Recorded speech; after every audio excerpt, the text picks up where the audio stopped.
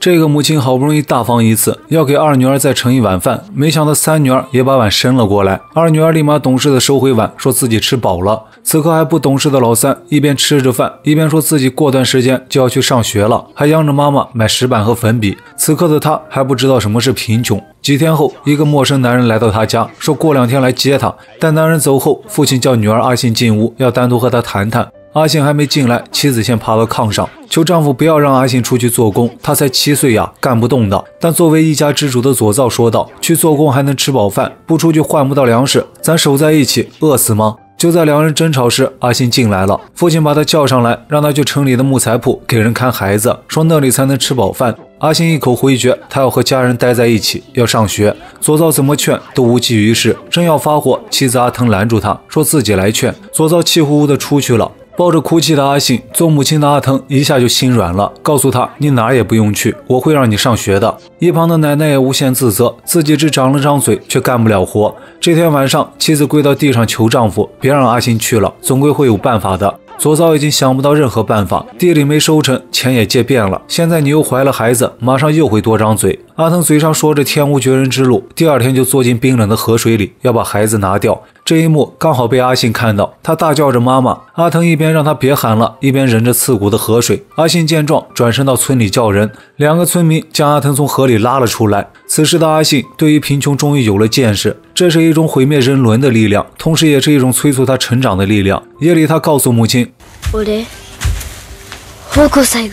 对于母亲的吃惊和劝阻，阿信笑着说：“去了我还能吃饱饭。”随即转头告诉父亲：“明天就给中间人回话吧。”母亲流着泪劝他：“不要去，你不懂，做工可苦得很呀。长大好像就是一瞬间的事。”此刻的阿信已经从需要母亲安慰，转而开始安慰母亲，说：“不用担心，姐姐们都能去，我在家也干了好多活，去那就看孩子，我能应付。”阿腾再也听不下去，转过头哭了起来。没过两天，中间人扛着一草袋米来了。当听到对方说这就是他第一年的工钱时，阿信知道自己要走了，一股伤心涌上心头。当中间人走后，他在草袋上戳了个洞，看着米流出来，至少家里人能过冬了。他决心明天笑着离开。这天晚上，为了给阿信送行，阿腾没有再做萝卜饭，而是做了白米饭。丈夫在一旁唠叨他不会过日子，把白米换成豆子还能多吃几顿。阿腾反驳这是阿信的工钱，就该让他吃。两人又吵了起来。阿信叫住父亲，这顿饭吃得五味杂陈。夜里，母亲把自己当年的嫁衣改了改，让阿信这次出门穿。她告诉阿信，从今以后再也没人能帮你了，要靠自己的力量活下去。实在干不下去就回来。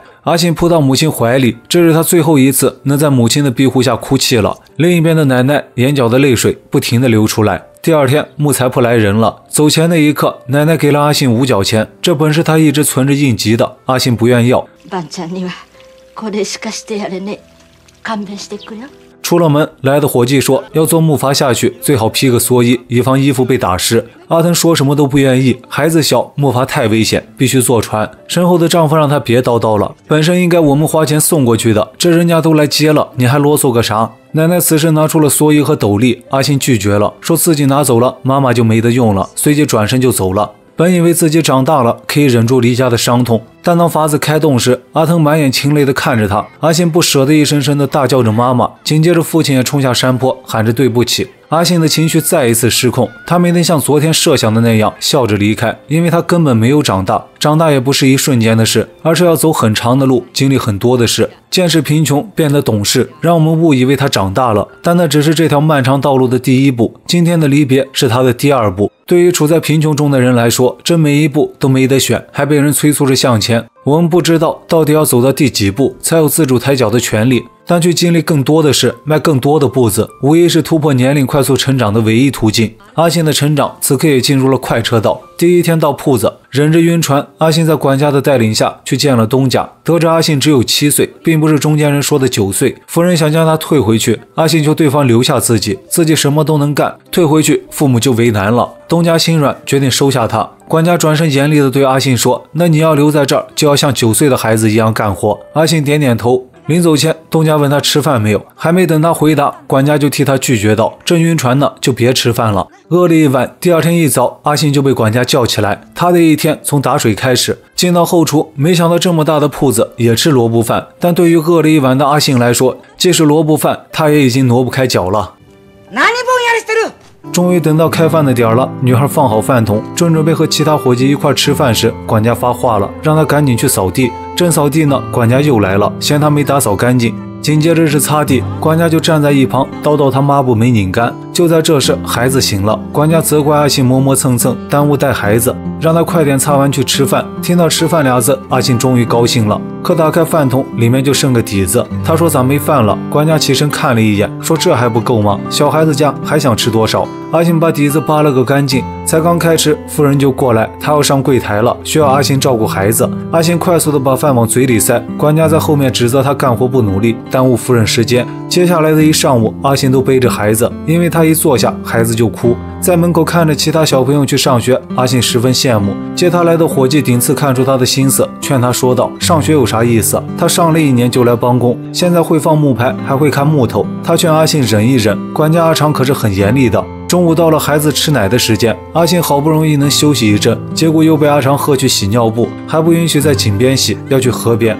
阿信手刚放进去，就体会到了这河水的刺骨，但这一切他都只能忍着。累了一天，到晚上他还是只能吃剩饭。吃完饭，又马不停蹄地去给大家烧洗澡水。这一切忙完，他累得连话都不想说。管家让他也去洗洗睡吧。阿信说自己不洗了。管家大声喝道：“不是让你洗澡，是让你洗浴池。”原来谁最后洗，谁就要洗浴池。阿信自然被留在最后。干完这一切，回到自己的小屋，阿信倒头就睡了，嘴里还叫着妈妈。在接下来的日子，阿信每天都重复着这样的生活。终于有一天，看着别的小朋友去上学，他忍不住跟了上去，站在教室外面，认真的听着老师讲课。老师也发现了他，一眼便看出了他眼中的求知欲。下课，老师问他是哪家的孩子，阿信实话实说自己是木材铺的小女佣。此时，背上的孩子哭了起来。阿信突然意识到为奶的时间过了，匆匆忙忙的往回跑，刚把孩子放下，阿长就给了他一巴掌。丁次想护着阿信，结果被拉开，又是一巴掌。丁次再次站到前面，阿长推开他，阿信说道：“是我不对，愿意受罚，让丁次不要再管自己。”阿长这两巴掌让阿信长了记性，再没去学堂。可没过几天，老师。竟然找来了，对东家说，希望能让阿信去上学。他看出了阿信的求知欲，夫人显得不愿意。老师退一步说，可以背着孩子上学，小学是义务教育，也不用交钱。东家见老师很执着，同意了阿信上学。听到这个消息，阿信兴奋不已，立马给顶次分享自己的喜悦，说东家真是个好人，还大喊妈妈，自己终于可以上学了。到了晚上，不出所料的，因为这件事，他又被阿长挑理，说如果他去上学，就只能算半个佣人，家里就没他的午饭。这么说还是要去？嘿，这让阿长也吃了一惊。第二天来到学堂，虽然受到老师的特别关爱，但却免不了被其他同学嘲笑。对于这些，阿信都能忍。他的学习也进步飞速，老师每天给他带两个芋头当做午饭，并勉励他千万不要因为这口饭退缩呀。这天上学，孩子哭个不停。一个叫心态的同学嫌他烦死了。老师教育心态，阿信不容易，你们是同学，应该相互体谅。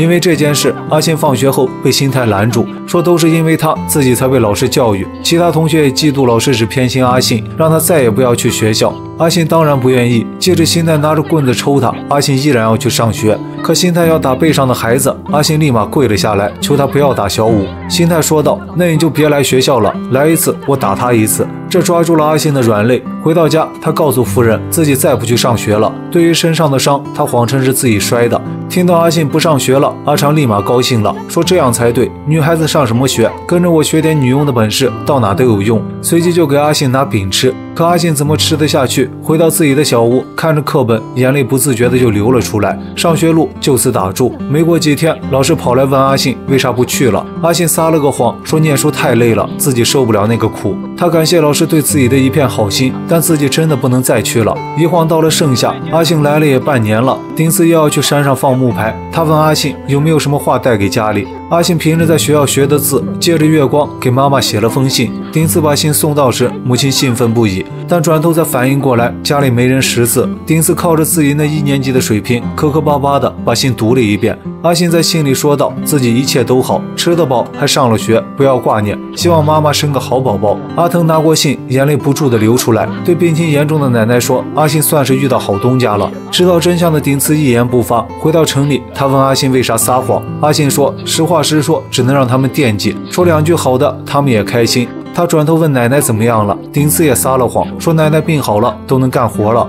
谎言果真能让人开心，可知道真相的顶子很难熬。他对阿信说：“我现在只是个没工资的学徒，但等我学成了，一定帮帮你，原谅我吧。”阿信回道：“哪儿的话？我从出来，妈妈就说凡事都要靠自己。”时间一天天的流逝，阿信几次路过小卖部，看着别的小朋友在买东西，阿信拿着奶奶给的五毛钱，看了又看，终是舍不得花。很快冬天来了，阿信念叨着，忍过这个冬天，自己就能回家了。可此时，阿昌钱包落在厨房，丢了五毛钱。当时只有阿信在，他向夫人抱怨，肯定是阿信拿走的。等到阿信过来，不问青红皂白，阿昌就认定是他拿的。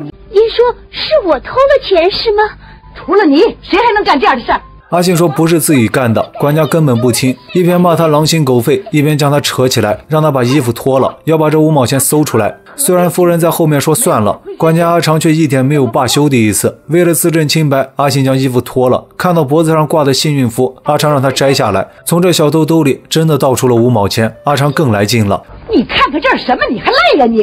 阿信着急地说：“这是自己出门时奶奶给的。”阿长根本不信，说着就把钱装进自己包里。这是我的钱，还我！你还给我！你！被推倒之后，阿信依然说着自己没偷钱。阿昌以坐牢威胁他，随即把尿布扔他头上，让他去洗。来到河边，又下起了雪。阿信忍着刺骨的河水，委屈的泪水，却再也忍不住了。等洗完回到家，又被阿昌挑刺没洗干净，说偷钱倒是有本事，干活却一点不认真。这话让阿信燃起了怒火。再一次来到河边，阿信忍不了了，他不干了，沿着河一路向上就能回家。他头也不回的走了。风雪渐渐变大，河也消失不见。饥饿加疲惫，阿信倒在雪地里。他仿佛看见父母还有奶奶出来迎接他。但等到醒来时，却在一个陌生人的怀里。原来阿信被冻僵了，男人用自己的体温救回了他一命。另一边的铺子里，因为阿信的失踪，也在四处寻找。东家责怪阿长做的过分，阿长理直气壮地说：“偷钱是他不能忍的。”东家问他怎么一回事，夫人把来龙去脉说了一遍。东家突然记起来，那钱是他拿的。那天没零钱，顺手拿了，一忙忘了说了。虽然知道是自己错怪了阿信，阿长并没有内疚。在东家说一定要把阿信找回来时，阿长说道：“他不敢不回来，咱可是给了他家一袋米，一年工没做完就跑了，会有啥后果？他清楚。”此时的阿长不但用这袋米亲见了阿信，也亲见了自己。另一边的阿信在山里待了几天，就他的大哥俊作带了一个老头，说要送他下山。阿信实话实说，自己是从东家跑出来的，回家还会被送回去。俊作答应他留在这儿，可老头却很着急，拉住俊作说：“你自己都躲躲藏藏，别发什么善心了。”俊作并没有听劝，在阿信身上，他看到了逃跑的自己。他们都对原来的生活充满失望，同是天涯沦落人，相逢相惜相依偎。在山上这段时间，越深入的了解阿信，俊作越感觉他可怜，带着他打猎，教他识字。阿信也帮着做饭、洗衣，在这儿的生活让他无比快乐。一天天过去，东家那边叫来中间人，阿昌把责任全推给阿信，让中间人把米拿回来，再找个好点的孩子来，最后把那五毛钱也让中间人带回去。夫人让中间人捎话，是我们错怪了他，请他原谅。还没说完，阿昌抢过话说：“没必要说这些，当佣人怎么能连这点委屈都受不了呢？”中间人来到阿信家，立马就质问阿腾：“阿信是不是逃回来了？”阿腾说：“他没回来。”中间人说他撒谎，阿信二十多天前就回来了。紧接着几个人就从库房抢走了今年过冬的大米。阿腾求着左造快去找找。左造说：“都二十天了，这上哪找啊？家里还有三个小的，不管了吗？”阿腾趴在地上痛哭不已。在这之后，他时不时的就会梦见阿信，然后惊醒。他很后悔送阿信去做工。另一边的阿信靠着俊作的教学，已经可以看书了。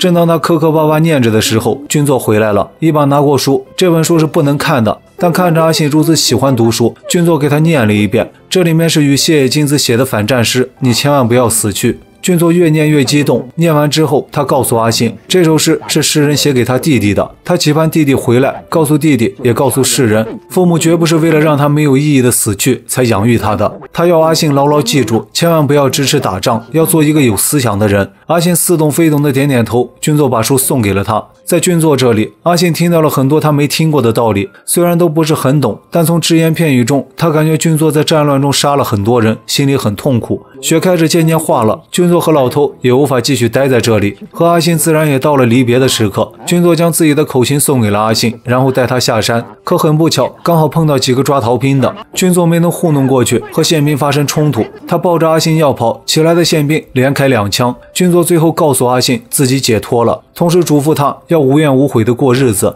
阿信还没来得及告别，就被带到了宪兵队，让他带着上山找军座的同伙。阿信说自己不知道路，宪兵上来就是一巴掌。阿信临危不乱的告诉对方，自己去年冬天被带上山，就再没下来，所以不认识路。就在这时，长官来了，看他还是个孩子，就放他回家了。出门打工的女孩回到家，哥哥吓得说不出话，父亲抓着他就打，幸好被一旁的母亲拉住了。父亲依然没消气，恶狠狠地质问他怎么现在才回来，因为他家里遭了老大的饥荒。随后一把将他扫倒在地。母亲心疼阿信，要带他进屋，父亲大喊不准进屋，连做工的苦都受不了，还敢逃跑？这不是我的女儿！他让阿信滚。年仅八岁的阿信抱着简单的行李，伤心的准备离开。母亲叫住他，阿信说是自己的错，不该逃跑的。母亲从后面拉住他，说这就是你的家呀，你还能去哪？母亲把阿信先安排在了库房。夜里，父亲悄悄地跑过来，给阿信盖上被子。他并不是不爱这个女儿，只是生活的担子太重。他所见识的生活又囿于村庄、街镇这狭小的范围内。这里的每一家、每个人，无不是拼尽全力才能勉强活着。所以，作为一家之主，他对任何成员的稍微放纵，都会给这个家带来一场危机。所以他不敢呀。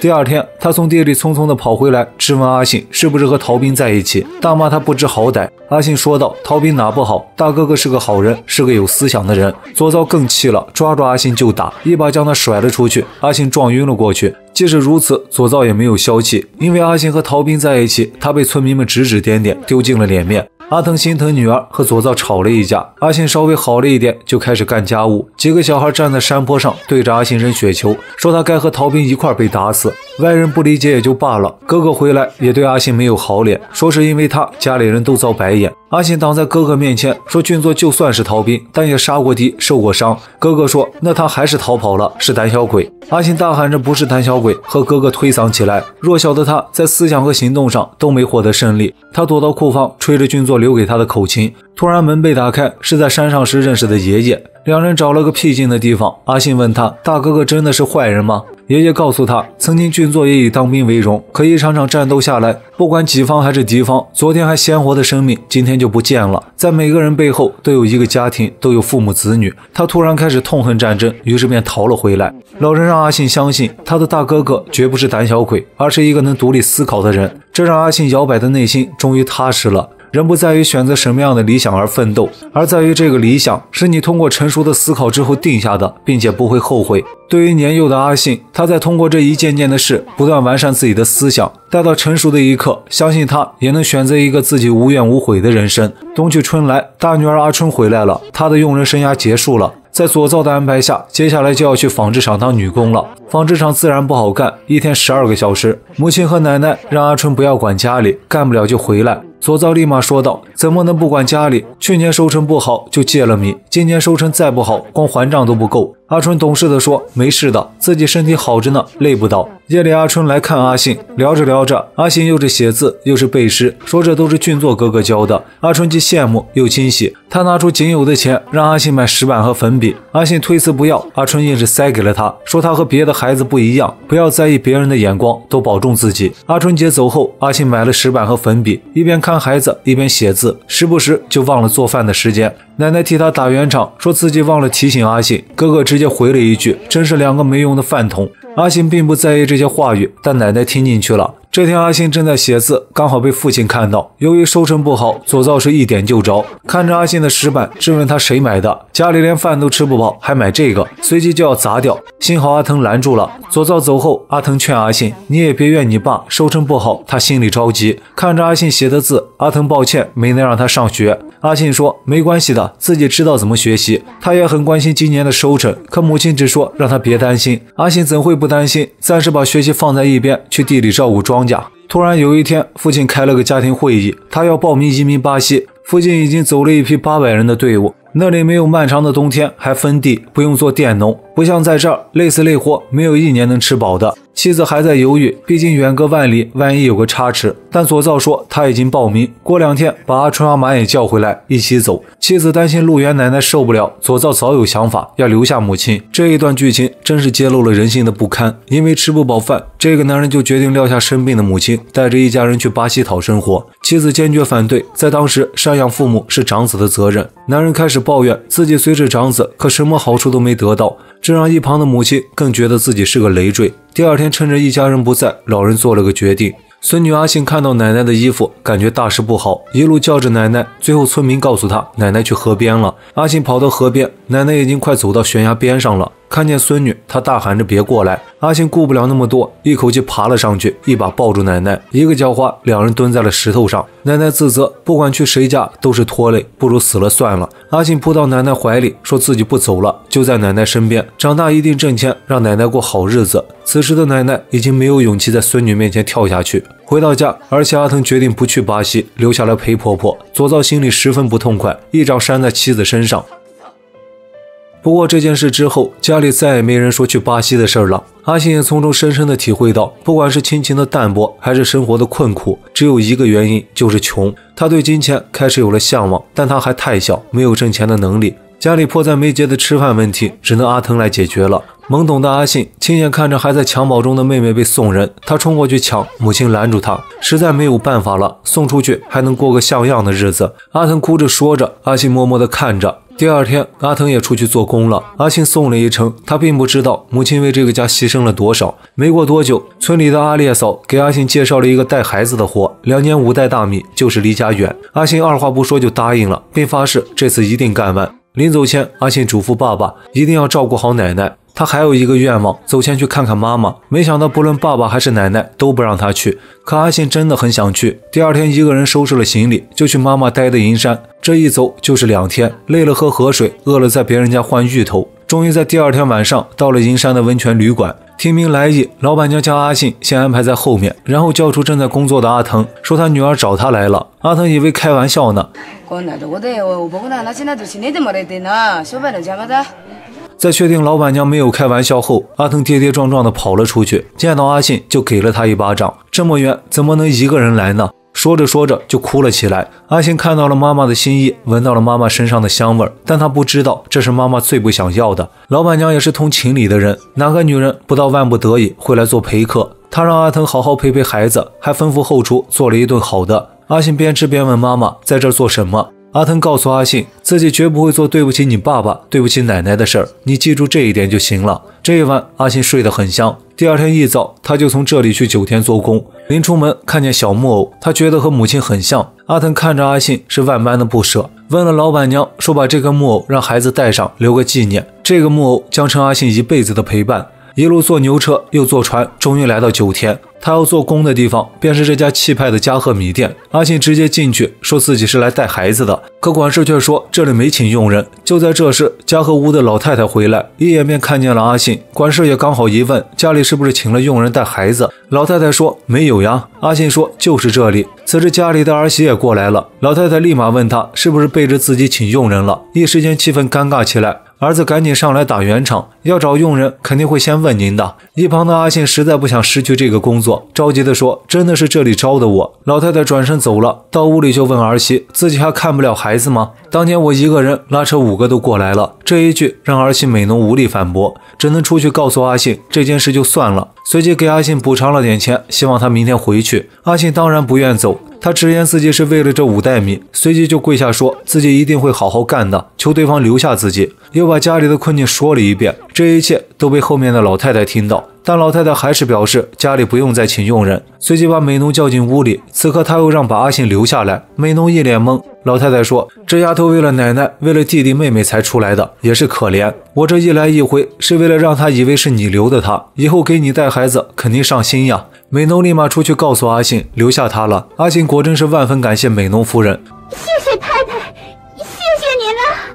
随后他见了这家的大大小小，除了老太太、少东家、少夫人，还有和阿信同龄的加代小姐，以及阿信要照顾的小叶小姐。家里佣人除了阿信，还有两个姐姐。阿信的新生活要开始了。这是农家女孩第一次到真正的大户人家做佣人，看着自己能睡这么好的房间，她竟然觉得浪费了。又看见屋里还配了煤油灯，她问先来的姐姐：“这是咱能用的吗？”阿菊姐姐告诉她：“这算啥？九天很快就能点上电灯了。”电灯，阿信连听都没听过。阿菊又给阿信抱了一床被子，阿信难以置信，当个佣人给这么好的被子。此时夫人跑过来，把小姐淘下来的几件衣服要送给阿信穿，这简直刷新阿信的认知，说自己穿着太可惜了，但夫人硬是给他穿上。这可是阿信第一次穿不打补丁的衣服，他高兴坏了。第二天他早早起来跑去烧饭，但看见这么多灶头，他又懵了。以前的雇主也就一个灶，正不知如何下手时，另一个姐姐阿梅来了。说就用两个灶，大灶烧我们吃的麦米饭，小灶烧东家吃的白米饭，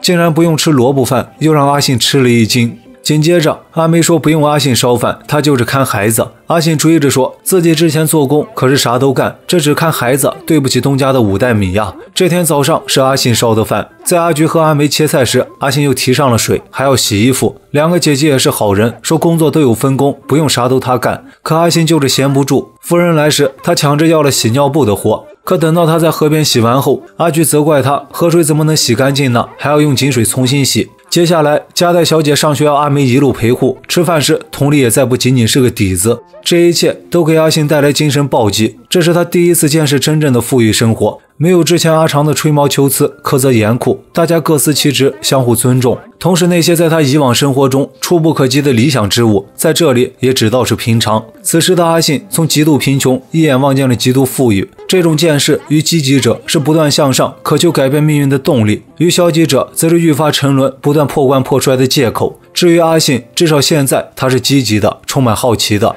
他站在仓房门口，疑惑这么大的房子是干什么的。少东家没有回答问题，老太太则告诉阿信这是储米的仓库，然后又给他讲米的来处去处。少东家说给小孩讲这些，他懂个啥？可老太太不这样认为，正是充满疑惑的年纪，不管懂不懂都该回答。这边带完孩子，阿信又去洗衣服，夫人让他歇歇，说他和加代同岁，也多玩玩。阿信懂事的说：“我不能和加代小姐比，我从小就干活，不觉得累。”就在这时，加代小姐回来了，给夫人撒娇自己饿了，夫人立马带着她去吃点心。下午时，加代小姐在学琴，阿信听着声音过去，加代直接把门关上了。这两件事，阿信心里还是有触动的。不过很幸运，他还是摆正了自己的位置。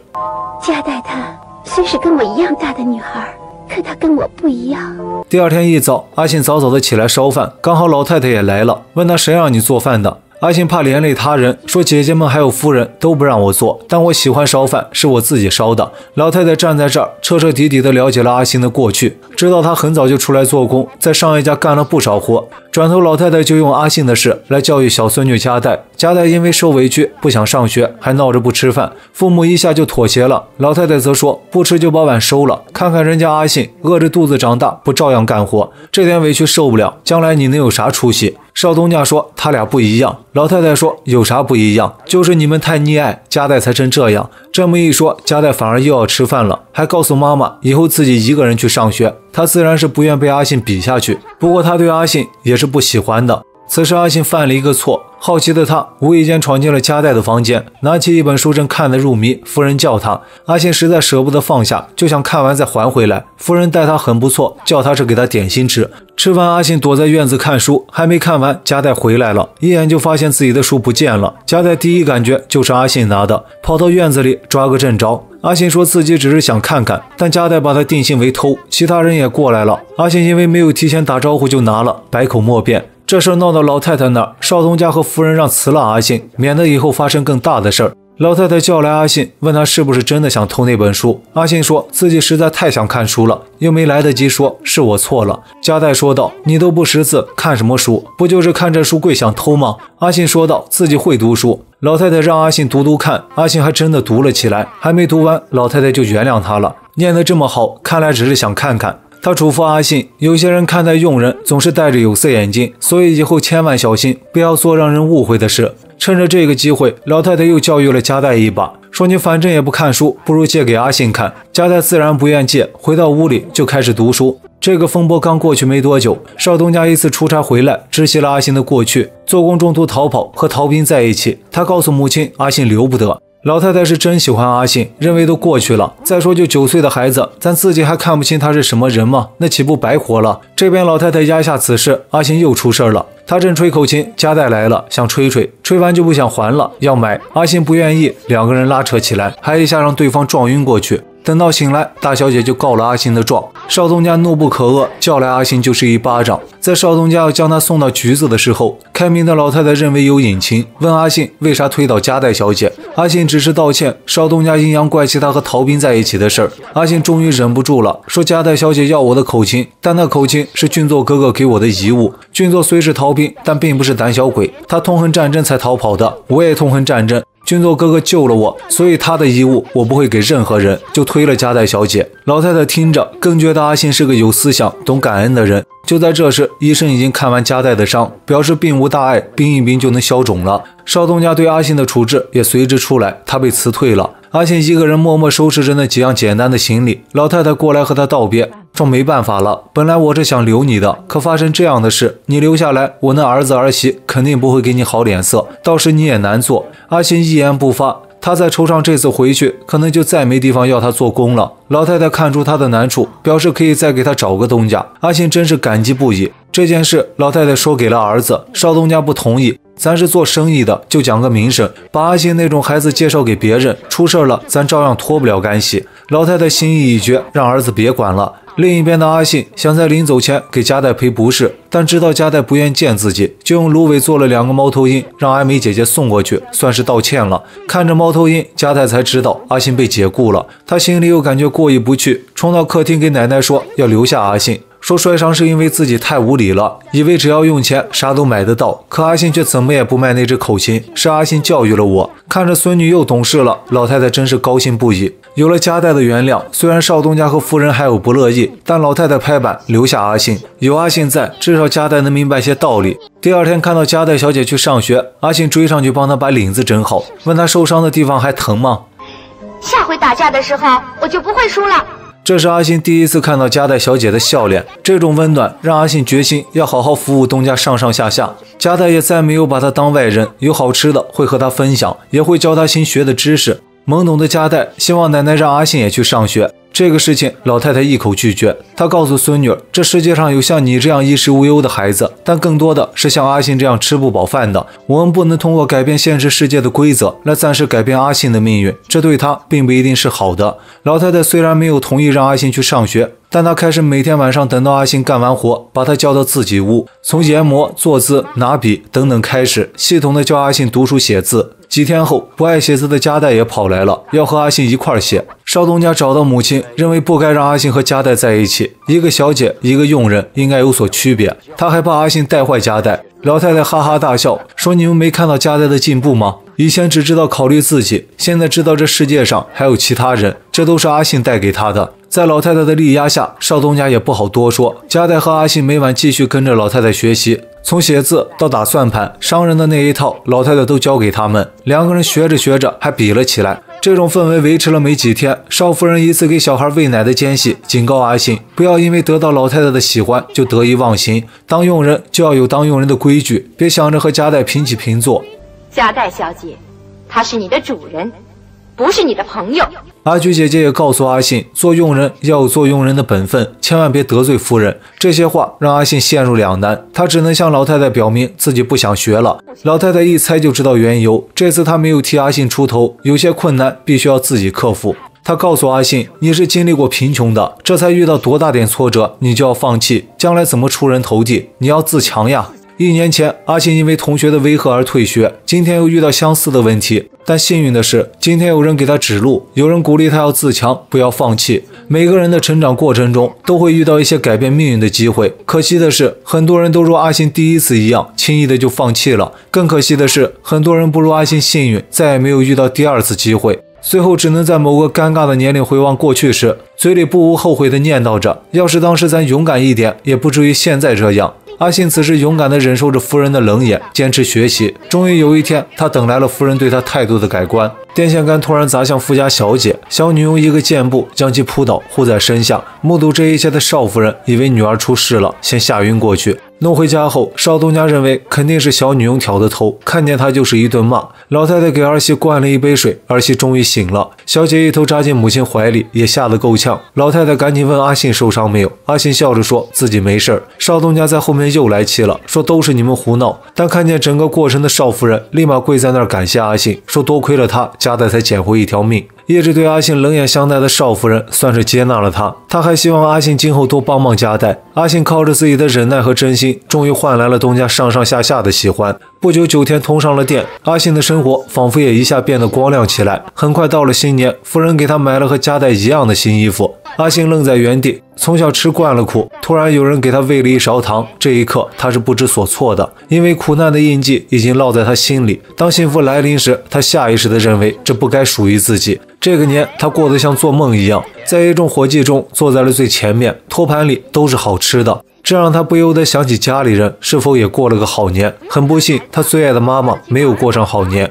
第二天，加代带着他去庙里上香，无意间阿信看见了许久不见的母亲，竟然在和别的男人打情骂俏。阿信简直不敢相信。加代叫了他一声，他才回过神。此时母亲一个转身，也看见了他，笑容立马消失。怕给阿信丢脸，妈妈迅速的离开了。加代问他认识那个女人吗？阿信摇摇头，他不是在骗加代，他是在骗自己。他不相信那是妈妈，他认为为那人只是和妈妈长得像。这一晚玩游戏时，阿信完全不在状态，满脑子都是妈妈。此时少东家进来，说外面有个奇怪的女人一直在这一片走来走去。阿信立马意识到肯定是妈妈，他接过累了，先退场了。老太太看出他有心思，跟在他后面。阿信悄悄地跑出门，冰天雪地，真的是母亲。阿信，阿腾说自己这次来只是想远远的看看你，没想到却碰到了。很抱歉，妈妈以这个样子让你看到。不过看到你受到东家喜欢，妈妈就满足了。阿信告诉妈妈，希望她不要再干了，她不喜欢这样的妈妈。阿腾答应他，等雪化了就回去。他再次让阿信记住，自己不会做对不起他父亲、对不起奶奶的事儿。阿信当然相信。最后，阿腾拿出钱，阿信说不要，让他给奶奶买点好吃的。两人的短暂见面匆匆结束。阿腾跑出一截，又躲在一旁，偷偷看着阿信进屋。此时的阿信也忍不住了，老太太在身后叫了他，说道：“女人苦呀，他们为了老人、孩子、丈夫，忍受着一切，这就是女人呀。所以你妈妈无论做了什么事，都不要认为她不好，想来看你，又怕给你丢脸而不进家门，她是多爱你呀。”阿信，你应该尊重你的妈妈。这晚，阿星又上了一课。在这之后，他并没有因为受到东家喜欢而得意忘形，依然踏实干活，成了家和店不可缺少的一员。这天，加代小姐非要穿西服才去上学，因为有同学穿了，夫人立马答应给她买。老太太刚好路过，直接拒绝了两人，并直言加代这攀比心不好。加代来气了，说不买就不去上学。老太太不惯他，爱去不去。加代哭着鼻子回屋了。此时，老太太问阿信是不是会做萝卜饭，她让阿信今天晚上做一餐萝卜饭，要做的和她在家吃的一样。等到晚饭时，加代想用绝食来换奶奶的妥协，没想到老太太不吃这一套，加代错过了晚饭的机会。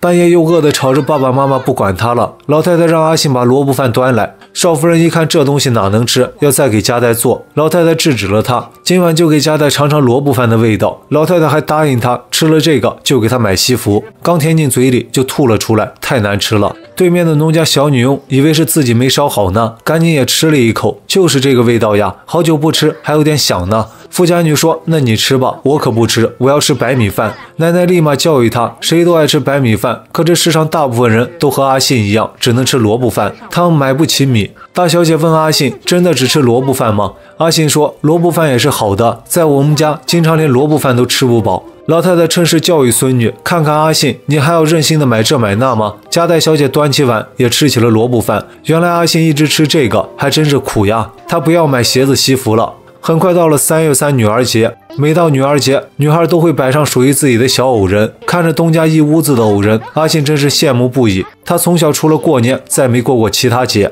在这儿也是沾了家代小姐的光。无论什么节，东家都给阿信备一份和家代一样的。越是过好日子，阿信越是想念家里的妈妈和奶奶。要是他们也有好日子过就好了。也是这一天，阿信的介绍人阿烈嫂顺道来看看他。老太太问阿信家里都还好吧？阿烈嫂说都好。阿信担心地问奶奶怎么样了？阿烈嫂也说好。但走的时候，阿烈嫂在老太太面前哭了起来。阿信的奶奶其实已经不行了。老太太赶紧找到阿信，给他放个假，让他回家去，还让儿媳准备一斗米作为礼物，也让阿信带回去给奶奶。工期未到，突然放假，阿信忐忑不安。穷人在富人面前总是极度敏感，他以为东家不要他了，把所有行李都打包上了。幸好夫人来了，让他放心回去。这是老太太看他干活干得好，特地给他的探亲假。夫人还拿了夹带小姐的衣服，让阿信体面的回去。此时弥留之际的奶奶还想着阿信，希望最后再看他一眼。儿媳阿腾也是惆怅不已，念叨着阿信要是能回来就好。就在此时，阿信冲了下来，父亲以为他又做错事被赶回来了，正要发火，阿烈嫂跟在后面过来，说是东家给他的假，让他看看奶奶。阿信大叫着，奶奶冲进屋里，奶奶一动不动。阿信用带来的米做了白米粥，端给奶奶。他晃着让奶奶看自己一眼，奶奶真的醒了过来。好几天吃不下东西的他，咽了阿信的白米粥，强撑着告诉阿信，一定要好好照顾东家，这样人家也会对你好。你回来，奶奶就瞑目了。阿信叫着奶奶，希望她不要死去，打起精神。多好吃啊，米粥。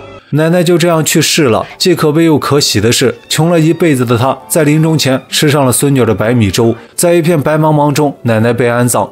跪在奶奶的灵位前，阿腾把奶奶唯一的遗物给了阿信，还是那枚五角钱。此时阿信才知道，这是奶奶织布赚的钱，就剩下这么点儿。看着这五角钱，阿信对妈妈说：“自己一定不要像奶奶一样，苦了一辈子才剩这么点钱，自己要拼命干活，长大绝不当佃农。”这一天，阿信再一次跟着阿烈嫂启程去九天。站在山坡上，他回望家乡，决心再也不要穷下去，不要做一个像奶奶、像妈妈一样苦的女人。但命运有时除了自己的意志，还有许多。都无法预料的变数。一晃七年过去，阿信十六岁，已经能在店里操持生意上的事了。除此之外，他还学会了茶道、花道。这天，老太太给阿信介绍了一门亲事，对方是新富起来的米商。他并不知道这娴熟的手法将使他摆脱贫穷，因为对面的富豪夫妻是东家给他介绍的婆家，今天特地来瞅瞅合不合适。一遍看下来，夫妻是赞不绝口。东家老太太也适时的夸阿信是个好姑娘，会烹饪茶道、花道，关键还懂生意，这更让这对富豪夫妻满意。他们也是近期才抓住机遇，一跃从小商变成巨贾。对于阿信的出身，自然没有太在意。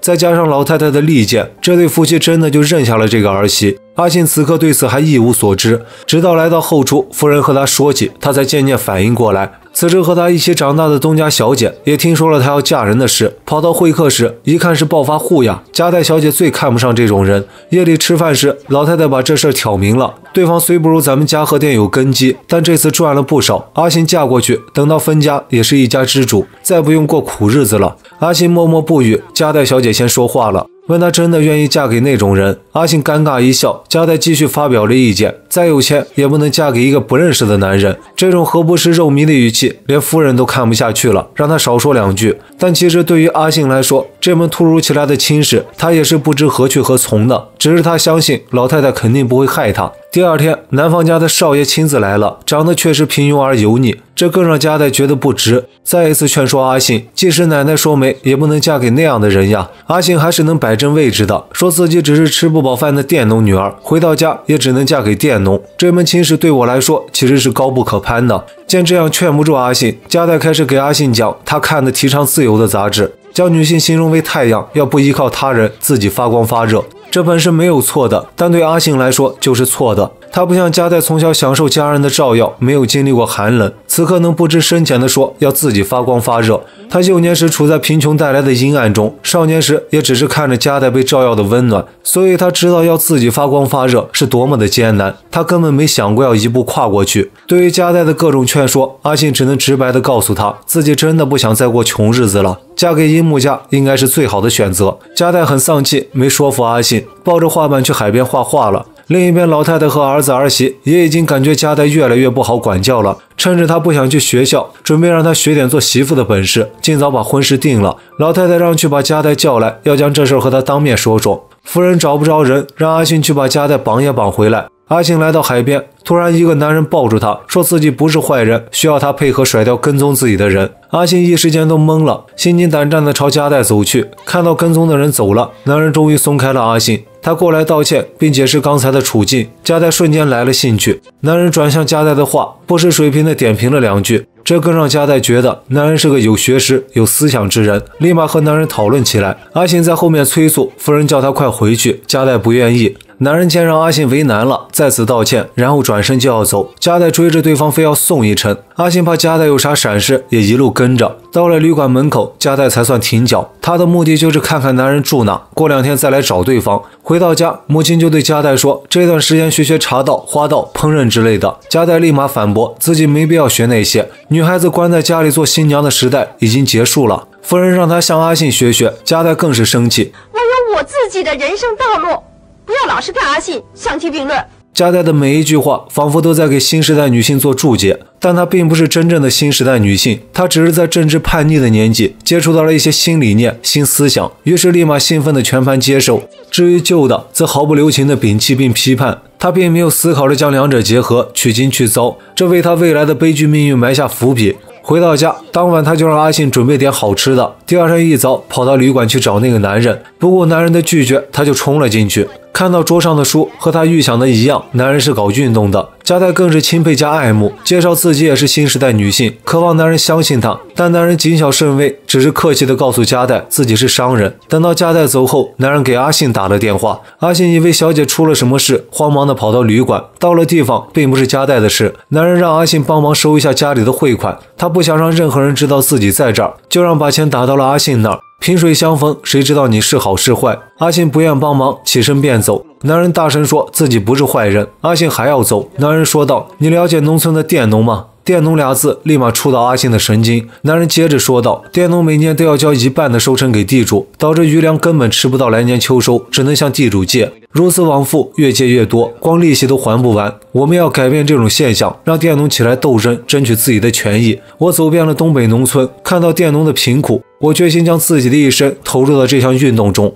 只有真正处在运动中的人，才能像男人一样，把如此宏大的事讲得心平气和。”阿信相信他，并答应帮他。与此同时，阿信也不知不觉喜欢上了男人。这种喜欢带有钦佩和感激。汇款一到，阿信就送了过去。这件事，阿信按照男人的要求，谁也没告诉。但他有个疑问：为啥不让加代小姐帮忙？男人说，加代小姐只是憧憬新事物，向往斗争，但她并不知道这意味着什么。两人聊完，男人便离开了。隔天，加代再去找时，从老板娘那得知阿信去过，回家就质问阿信为啥去找安田先生。阿信被逼无奈，只能说了收汇款的事。没过多久，阿信收到安田的信，安田已经从农村回来，想见一下阿信。阿信按照日期来到约定的沙滩，两人一路走一路聊。除了伟大的运动，安田还向阿信表白了，说终有一天会来接他，和他一起生活。虽然阿信吃了很多苦，但爱情于他还是新鲜的。在十六岁懵懂的年纪，碰上这样有学识、有思想、有行动的热血青年，阿信的内心沦陷了。但这也直接改变了他的命运。等他回到家，老太太已经找来他的母亲，要商量他的婚事。如此快就走到了这一步，阿信为难了，私下和母亲说现在不想结婚。母亲一下就猜到阿信有意中人了，人在哪，干什么的，能不能见见？一连串的问题，阿信都是否定回答，只说对方会来接自己，自己想永远等下去。母亲一听就来气了，她告诉阿信：“你的婚事就按老太太的意思办，你还没尝够穷的滋味吗？”阿信无力反驳。一段时间后，嘉禾店给阿信办了订婚。加代再次劝阿信不要嫁，老太太听不下去了。她告诉加代：“你是嘉禾店的继承人，女婿已经帮你选定了和阿信一天的婚期，你去准备吧。”加代气呼呼地夺门而出。他实在不想待在家里。到了下午，又准备去海边画画，结果刚好在桌子上看到了安田寄给阿信的第二封信。他立马叫来小女佣，并未提及信的事儿，而是谎称听别人说阿信在和安田约会，大骂阿信背信弃义。阿信是百口莫辩，刚要解释，加代小姐就对他说：“从今往后恩断义绝，我的任何事都和你没关系。”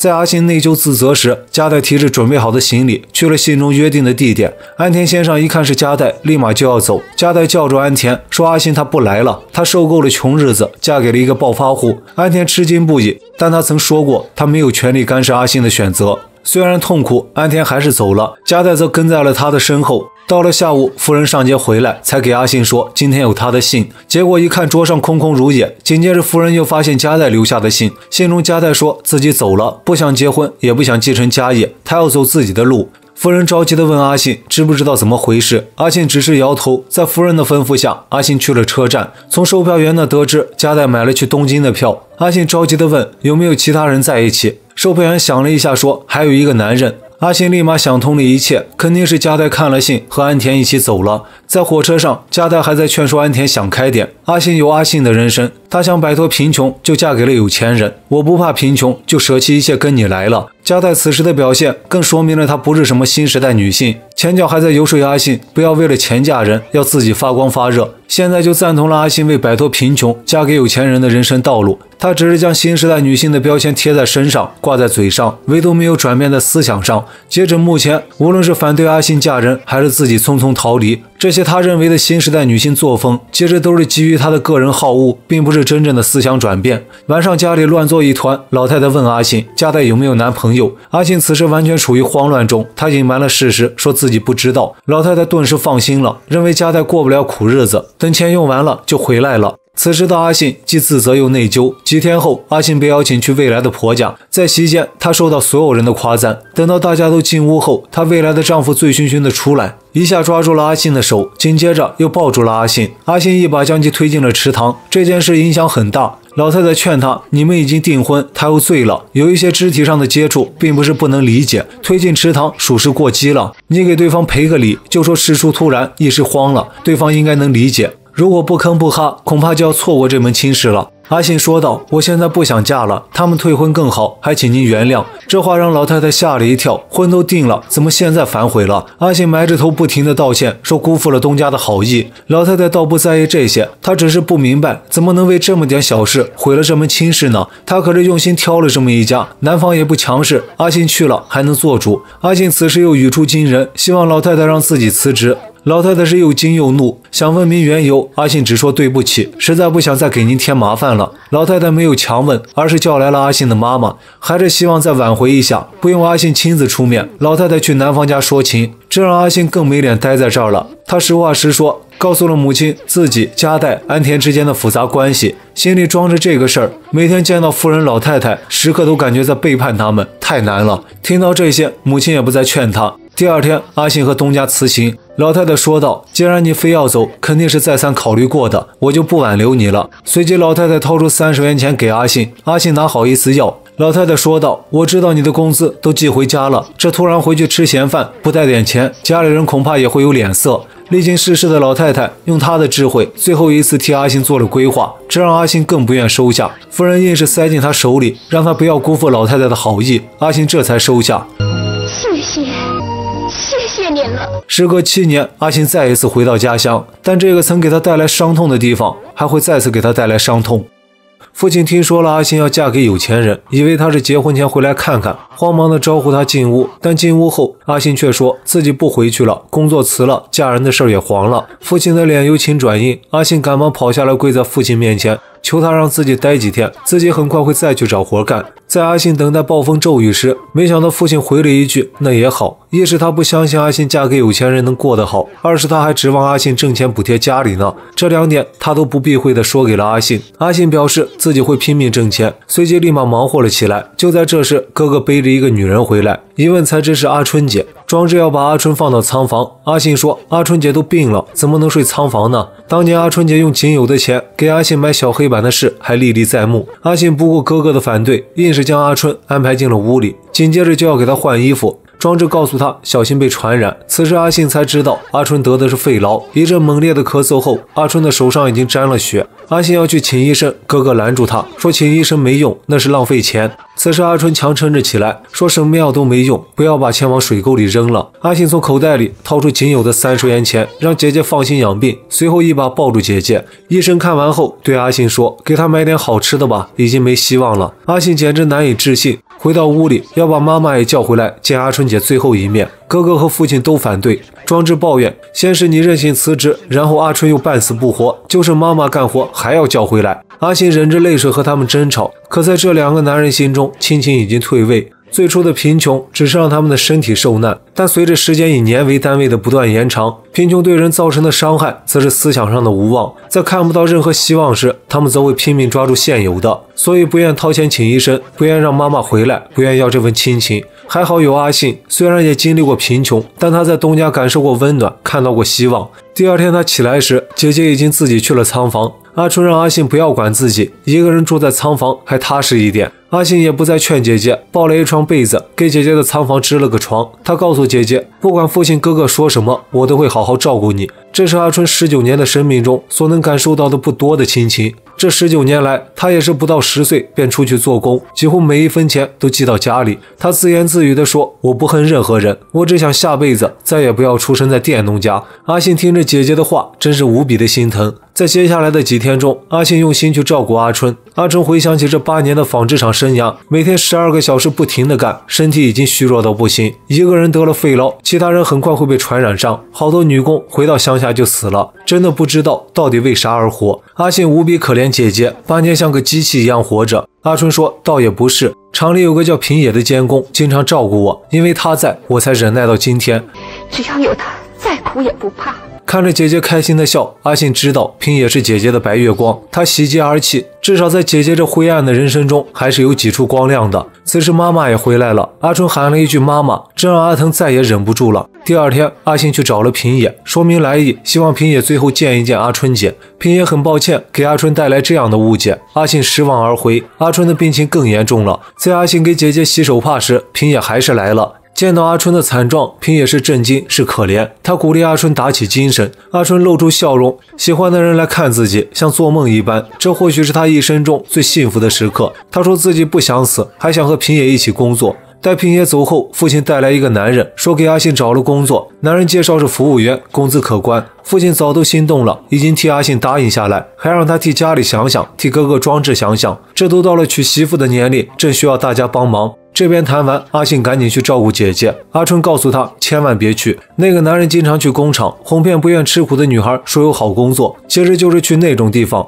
阿信才反应过来，可父亲非要让去。阿春让他快逃，去东京，还给了地址。这是阿春一直想干的梳头店，他联系过那边，就是一直没打定主意，落到现在这种地步。他告诉阿信，替我多活几年，我没做到的事，你替我做，靠双手打开活路。这一晚，阿春去世了，就仿佛没有来过这个世界。阿信还在犹豫去东京的事儿，他担心妈妈。阿腾让他不要挂念自己，赶紧逃走，一辈子都别回来。这一晚，阿腾杀了只鸡给阿信送行，结果又被丈夫骂不会过日子。阿信和妈妈相视一笑。第二天一早，趁着大家没起来，阿腾让他快点走，唯一的嘱托不要得病，再别回来。阿信说一定会回来接妈妈，最后又转身看了一眼阿腾，满眼含泪。阿信一口气跑到了车站，直到坐上车才放心下来。可到了地方，梳头店根本不收他。但他可是聪明，刚走出两步，听到店里的客人嫌水凉了，他立马绕到后厨架火烧水。店里的小伙计看见他，大喊小偷。其他人过来一看，这不是刚才非要当学徒的那位吗？阿信赶忙说道：“看你们都忙不过来了，我给你们烧点热水。”之前拒绝阿信的师傅也来了，让徒弟们快去干活。阿信扑通跪在地上，说自己什么活都能干，求师傅收下他。师傅还是没松口，但也没像之前一样赶走阿信。阿信烧完水，又到前面给等待的客人换茶，给要走的客人擦木屐。这真是眼里有活，客人都说来这么多次，第一次有人擦木屐。接着，阿信又在店里很有眼色的换毛巾、洗毛巾，直接抢了小学徒的活。终于在中午时，师傅叫他吃午饭。阿信问自己能不能留在这儿，师傅还是没说话。这一天，阿信都在干活，其他师姐们却没一个给他好脸色。大师姐还劝师傅赶走他。上次招个来历不明的人，没干几天就偷了店里的钱。师傅心好，说行不行，先干个十天。随后，师傅也对阿信说了，暂时收留他，但要他走时，他必须马上走。阿信感激不已，其他师姐们对他还是爱答不理。师傅见其他人去洗澡，只有阿信一个人被留下。他告诉阿信，凡事都要跟上，不要期望别人帮助。阿信问师傅，自己负责哪块工作呢？师傅说道，该做什么，不要等别人说，要主动去找，边做边学，才能做好。阿信记下了。先给师姐们把床铺好，看着师姐们趁晚上练习盘头，阿信就在一旁观摩学习。第二天早早起来给大家做饭，然后擦门、擦镜子。等到最小的学徒阿绿起来时，这一切都干完了。阿绿责怪阿信多管闲事，这些都是自己的活。阿信倒不在意，依旧忙活着。看出阿绿比自己小，他说自己做工很多年了，早起习惯了。阿绿妹妹多睡会儿也行。此时阿绿才说道：“活都你干了，我就多余了，会被撵回去的。”得知阿绿家也是佃农，兄弟姐妹们也多，阿信觉得自己不能待在这儿了，他去找师傅辞职。师傅以为他刚干一天就受不了了。阿信实话实说，自己不怕苦，只是留在这里，阿绿妹妹就会没活干，就要被撵走。我怎么能抢阿绿妹妹的饭碗呢？师傅一下就笑了，说：“你也太小看我了，阿绿才十三岁，我怎么会撵她走？学手艺干活都是要自己主动。”你要是不敢抢别人的活干，那你就干不好。师傅最后说道：“在这儿墨迹，不如去把店里的镜子擦干净。”可当他走到店里时，发现镜子已经擦完了。他开怀大笑：“阿信比自己想的厉害多了。”在这之后，十六岁的阿信带着阿绿一起干，因为他来得晚，他自愿待在后面打杂。更能学到东西的店里，则是阿绿妹妹负责。很快，阿绿就对阿信这个姐姐有了好感。第一天做晚饭，师傅一看就让把阿信叫来说：“这超标了。”阿信说：“没超过三毛钱的标准，只用了两毛九。”你以为我不知道油炸豆腐的价钱？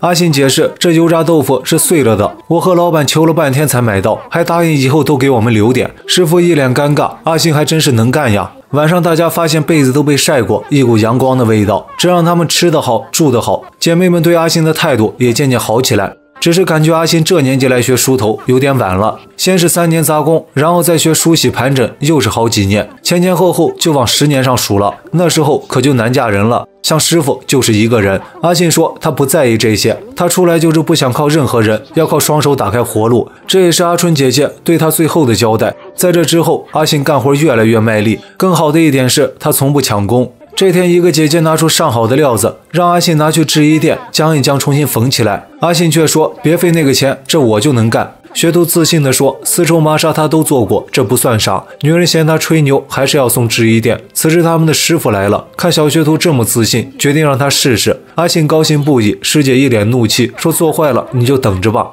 由于还要干店里的活，阿信只能用空闲时间做。晚上别人睡觉了，他还在干。到了第二天，已经开始给布料上浆。大师姐一看，还真有两下子。晚上，阿信就开始缝制了。由于好久没做了，他比往常更仔细。连着加班三个晚上，到第四个清晨时，阿信把衣服拿给之前的师姐，让给师傅送去。师姐吃惊不已，这也太快了吧！阿信谦虚地说：“好久没做了，不知称不称师傅的心意。”随即又拿出一个账本，是这段时间他负责后厨的开销，还会写字记账，又把师姐惊掉下巴。阿信则羞涩一笑。师姐把东西拿到师傅那，还在啧啧称奇，说阿信真是能干，衣服三个晚上缝完，还能写字记账。师傅翻了一遍，叫来阿信，他也好奇阿信哪学这么多本事。阿信说自己出门做工的早，后来遇到好东家那儿的夫人老太太教的。师傅问他为啥离开，阿信一时间不知如何回答。师傅看出他有难言之隐，没再追问，而是说他有缝纫、茶道、花道、识文断字这些本事，不用到这受苦学梳头，也能找到好活干。阿信说道，自己无论如何都要学会，这是我死去姐姐的愿望。师傅说，这一个月你做的很好，想留就留下来吧，但要准备好吃苦。想学到真正的手艺，后续还要看你自己的努力。这是阿信第一次听到师傅留他的话，他高兴不已。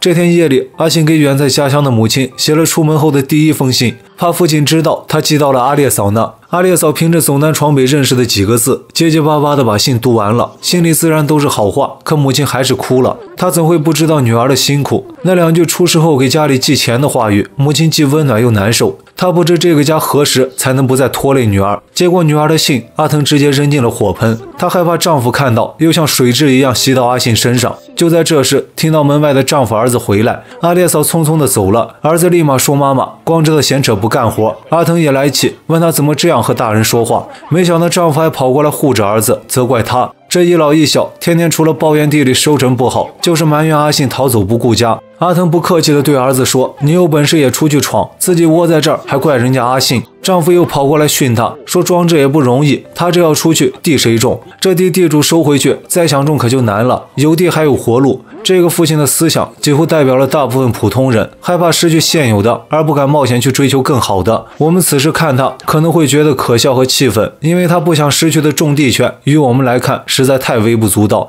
但对没见过世面的他来说，那可是生和死的界限。再回看我们见过一些世面，也不存在生死温饱的问题。但好像同样会因为害怕失去现有的而不敢追求更好的，于是，一边抱怨，一边工作，一边想要大干一场，一边又劝自己接受现实。这可能就是普通人的矛盾和局限。而阿信则是不普通的。此时他只有一个愿望，要为别人付出几倍的努力，赚很多的钱，然后回乡接母亲。很快，他的努力得到了回报。正值过节，来做发型的人一下多了。师傅将阿信从打杂升为梳头工，仅仅几个月的时间，不但阿信没自信，其他徒弟也是有怨言的。本身要打杂三年，可他才来三个月就被升为梳头工，这立马遭到其他师姐反对，有两个直接向师傅提出辞职。师傅也是硬气，说去留随他们。二师姐向师傅求情，希望理解理解阿夏和阿慧的心情。这俩都干了三四年才当上梳头工，阿信才来三四个月就当上了，这谁心里舒服？师傅也不退让，说既然不合你们的心意，那就请便吧。此时阿信冲进来。同时向师傅表示自己可以继续打杂，师傅让他别说话，阿信却继续说道：“如果因为我影响姐妹们的团结，我也不能继续待下去了。”在大师姐的圆场下，阿夏和阿慧出去继续工作了，最后只剩阿信在这儿。师傅说道：“你不贪心是好的，但害怕挤掉别人而不敢往上爬，这样是没办法生存的。是我看错你了。”从这之后，阿信继续打杂，师傅也再没让他梳头。这个快速成长起来的机会就这样失去了，是好是坏，此时还不得而十六岁时，谁没有为一些所谓的姐妹情、兄弟义放肆过呢？但到三十岁时，也不见得会后悔，毕竟那是青春的样子。很快到了两年后，阿信一次都没有摸过顾客的头发。不过在这两年中，女人对发型的要求也渐渐变了，不再是复杂固定的传统发式，西洋发型也开始流行。可这家店依然坚守着传统发式，进来的时髦女郎无一不失望而归。阿信也开始思考，难道传统发式真的要不流行了？就在这时，家里给他来信了，母亲告诉他一个惊天的消息：袁东家的二女儿小叶小姐肺痨去世了。阿信立马向师傅辞行，要去九天看看东家老太太。师傅二话不说，给他拿了钱。此时，师傅的内心认为阿信再也不会回来。以阿信的能力，干了两年多杂工，确实委屈他了。作为对他这两年工作的认可，师傅还送了阿信一件上好的衣服。阿信匆匆地赶到九天，夫人和老太太的状态还算好，只是失去了小叶后，夫人更加思念大女儿佳代了，一个劲儿地追问阿信有没有在东京见到。老太太止住儿媳，让他别问了。东京那么大，阿信咋会碰到佳代呢？夫人转向阿信，求他别回去了。以前家里三个孩子，现在一个不剩。他也是看着阿信长大的，从没当外人，无比希望阿信回来，这样老太太心里也会高兴。阿信，请你留下来吧，留下来吧。阿信真是为难。夜里，他最后伺候了老太太一回，老太太是又高兴又伤感。她告诉阿信，如果加代能不后悔的活下去，见不到也就无所谓了。但他担心加代将来遇到啥痛苦，他求道士阿信一定帮帮加代。阿信低声的嗯了一声。他不知道以他的境遇有啥能帮得到嘉禾店大小姐的，但对老太太来说，她信任的不仅仅是阿信，也是这个波谲云诡的时代。这个时代会重塑阿信这种勇闯风浪者的人生。阿信终究是没留下，这一趟回来，除了感受到了东家的温暖，还让他想起了安田。在他走出车站时，突然听到有人说广场在搞粮食运动。阿信鬼使神差地跑去了广场，他想安田一定在那儿，但遗憾的是，不但没见到安田，他还被抓了起来。第二天，警察就找到美发店，要师傅去保释阿信。师傅去了，店里的姐妹已经开始议论阿信是赤色分子。等他回来，除了阿绿妹妹，其他人都开始孤立他。师傅告诉他，别人的嘴你挡不住，但自己能成什么样，还是靠自己。阿信对师傅的信任眼含热泪，对其他人的冷嘲热讽。也自然不放在心上。一段时间后，师傅再一次叫来阿信，告诉他传统发型已经吃不开了。既然店里姐妹们孤立你，那你就开始做西洋发型。西洋发型没有定式，只要好看就行。你有这个本事。从这一晚开始，师傅开始手把手教阿信，从最基础的传统发式开始。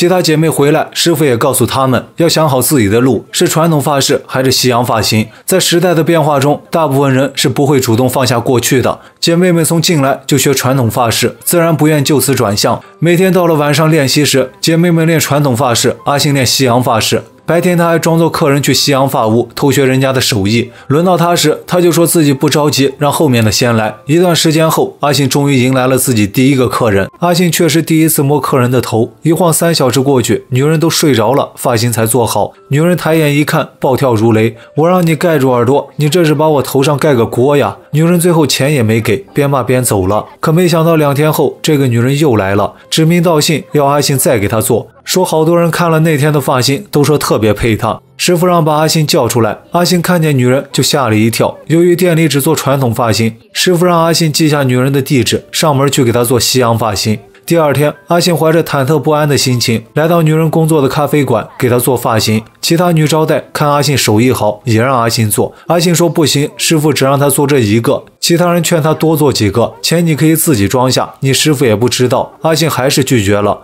做完，女人要付钱，阿信也不知道要多少，师傅没告诉他。女人给他小费，阿信也不收。他说师傅只交代了做头发，不敢收钱的。几个女人像看稀有动物一样看着阿信，这看似犯傻的行为，其实是阿信对师傅的尊重和感激。回到店里，阿信说自己没要顾客的钱，大师姐立马教训他：脑子长哪了？干活怎么能不要钱呢？没想到师傅却说应该这样做。阿信是我的徒弟，如果他要了钱，那就不对了。师傅告诉他，这段时间就是好好练习，要钱是将来的事，要往远了看。听闻其他女招待也要阿信做头发，师傅笑着说：“那你就接，练得越多，手艺越好。什么时候出师了，我会让你独立的。”为了让阿信少遭师姐们的议论，师傅改了学徒的规矩，允许所有人出去接私活。又一天，阿信去给女招待们做头发，一说不收钱，几个人都抢着让阿信做，阿信一一全答应了。在接下来的日子，阿信成了这几个女招待的固定发型师。他们原来的发型师阿赫得知自己的生意被抢了，特地来瞧瞧阿信是何许人也。看到是个黄毛丫头，阿赫嘴上就开始不干净。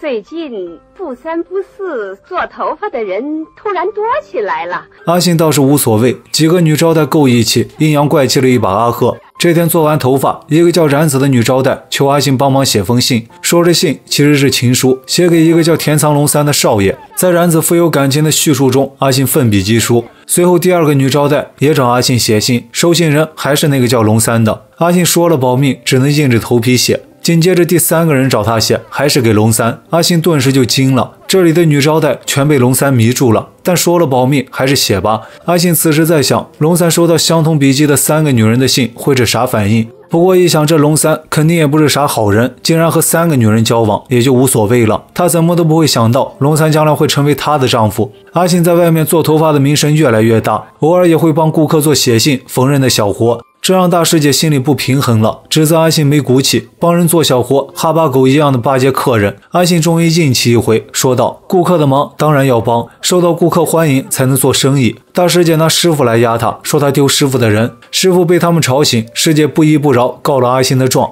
师傅谁的面子也没驳，让大徒弟先出去。他和阿信说，他告诉阿信，你现在是时候离开这里了，你是最后来的，我不可能让你先出师。如果你继续以学徒的名义出去揽活，钱就要交上来，否则他们肯定不会罢休，这也是规矩。现在西洋发型我是没得教你了，钱也应该是你的。出去了，他们也就说不了闲话了。阿信能碰到这样的师傅，他很感激，他想留在这儿报答师恩。但师傅说道：“已经够了，你三年做的活比他们十年都多，你能成的事儿，他们成不了。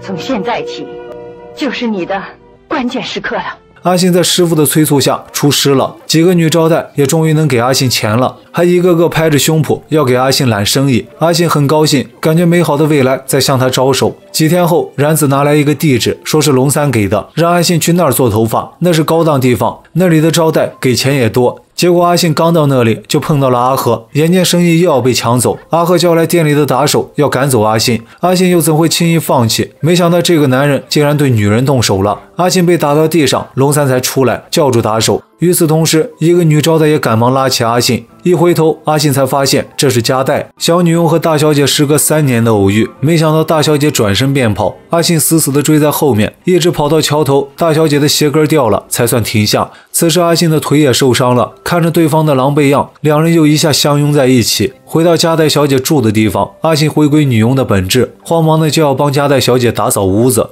说别一会儿男主人回来了，看着这乱糟糟的模样，加代叫住他，这里没有男主人。他很抱歉，当年半路截胡，撒谎夺爱，抢走了阿信喜欢的人，他真是没脸见阿信了。阿信说道：“都过去了，只要你们幸福就好。”可惜的是，加代没有得到幸福。当年不顾一切的和安田来到东京，仅有短暂的欢愉，接着安田便一走半年，搞自己的佃农运动，从不提结婚，也从没说爱他。阿信让加代回九田老家吧。加代说：“家里就让小叶替我尽孝吧，我没脸回去了。”阿信告诉加代，小叶小姐去年肺痨去世了。这对加代真是晴天霹雳。阿信苦劝他，既然和安田难得幸福，就回九田和家人团聚吧。老太太和夫人是多挂念你呀。加代说他不能回去，他对不起奶奶，对不起父母，但他要在这里等着安田。这句话击中了阿信，他可怜加代爱上了不该爱的人，还爱得如此强烈，更可怜老太太夫人等一个不会回去的人，还等得如此执着。可这一切，阿信只能看着。他期望加代有想开的一天。很幸运，加代成长了。过了一段时间，他找到阿信，说决定回九田了。与此同时，他求阿信帮忙看房子。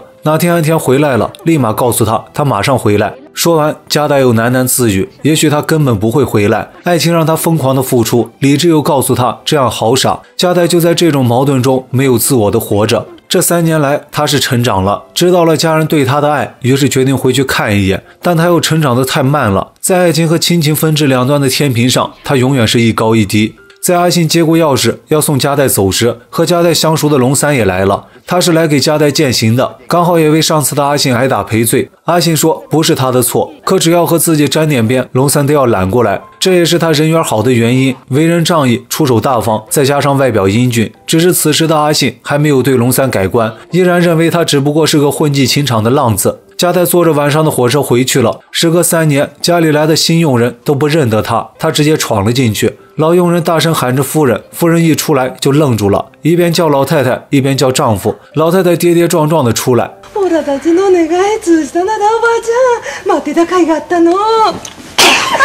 老太太这一巴掌比打在自己身上还难受。加代跪在地上，诚恳的认错，求奶奶使劲打自己，太不孝了，任性的一走就是三年。老太太快要哭出来了，借口让孙女先去收拾收拾，她先躲了起来。在家里住了几天后，加代又准备回东京，借口是学画画。老太太一眼就看出她不是学画画，是有男人了。不过老太太认为无所谓，也二十的人了，谈朋友也正常。但老太太说道：“她要想娶你，就该来见见我们。如果做不到，不论你怎么痴情，也不会幸福。”老太太最后撂下话：“不愿和你回来的男人，我是不会答应的。”这话让加代感到束缚。他给阿信写信，说自己不会继承嘉禾店的。如果有安田的消息，立马通知我，我即刻启程。这让阿信觉得为难。很快一个月过去了，阿信给加代回信，安田还没回来。就在这时，老太太把加代叫过去，说：“一个月过去了，你的男朋友连封信都没有，你该明白了，和他不会幸福。”随即告诉加代，家里已经给他物色了一个女婿，还是个大学生。一旁的父亲也一个劲儿的推销这个人，家世学历和家和店都匹配，能入赘过来是门好亲事。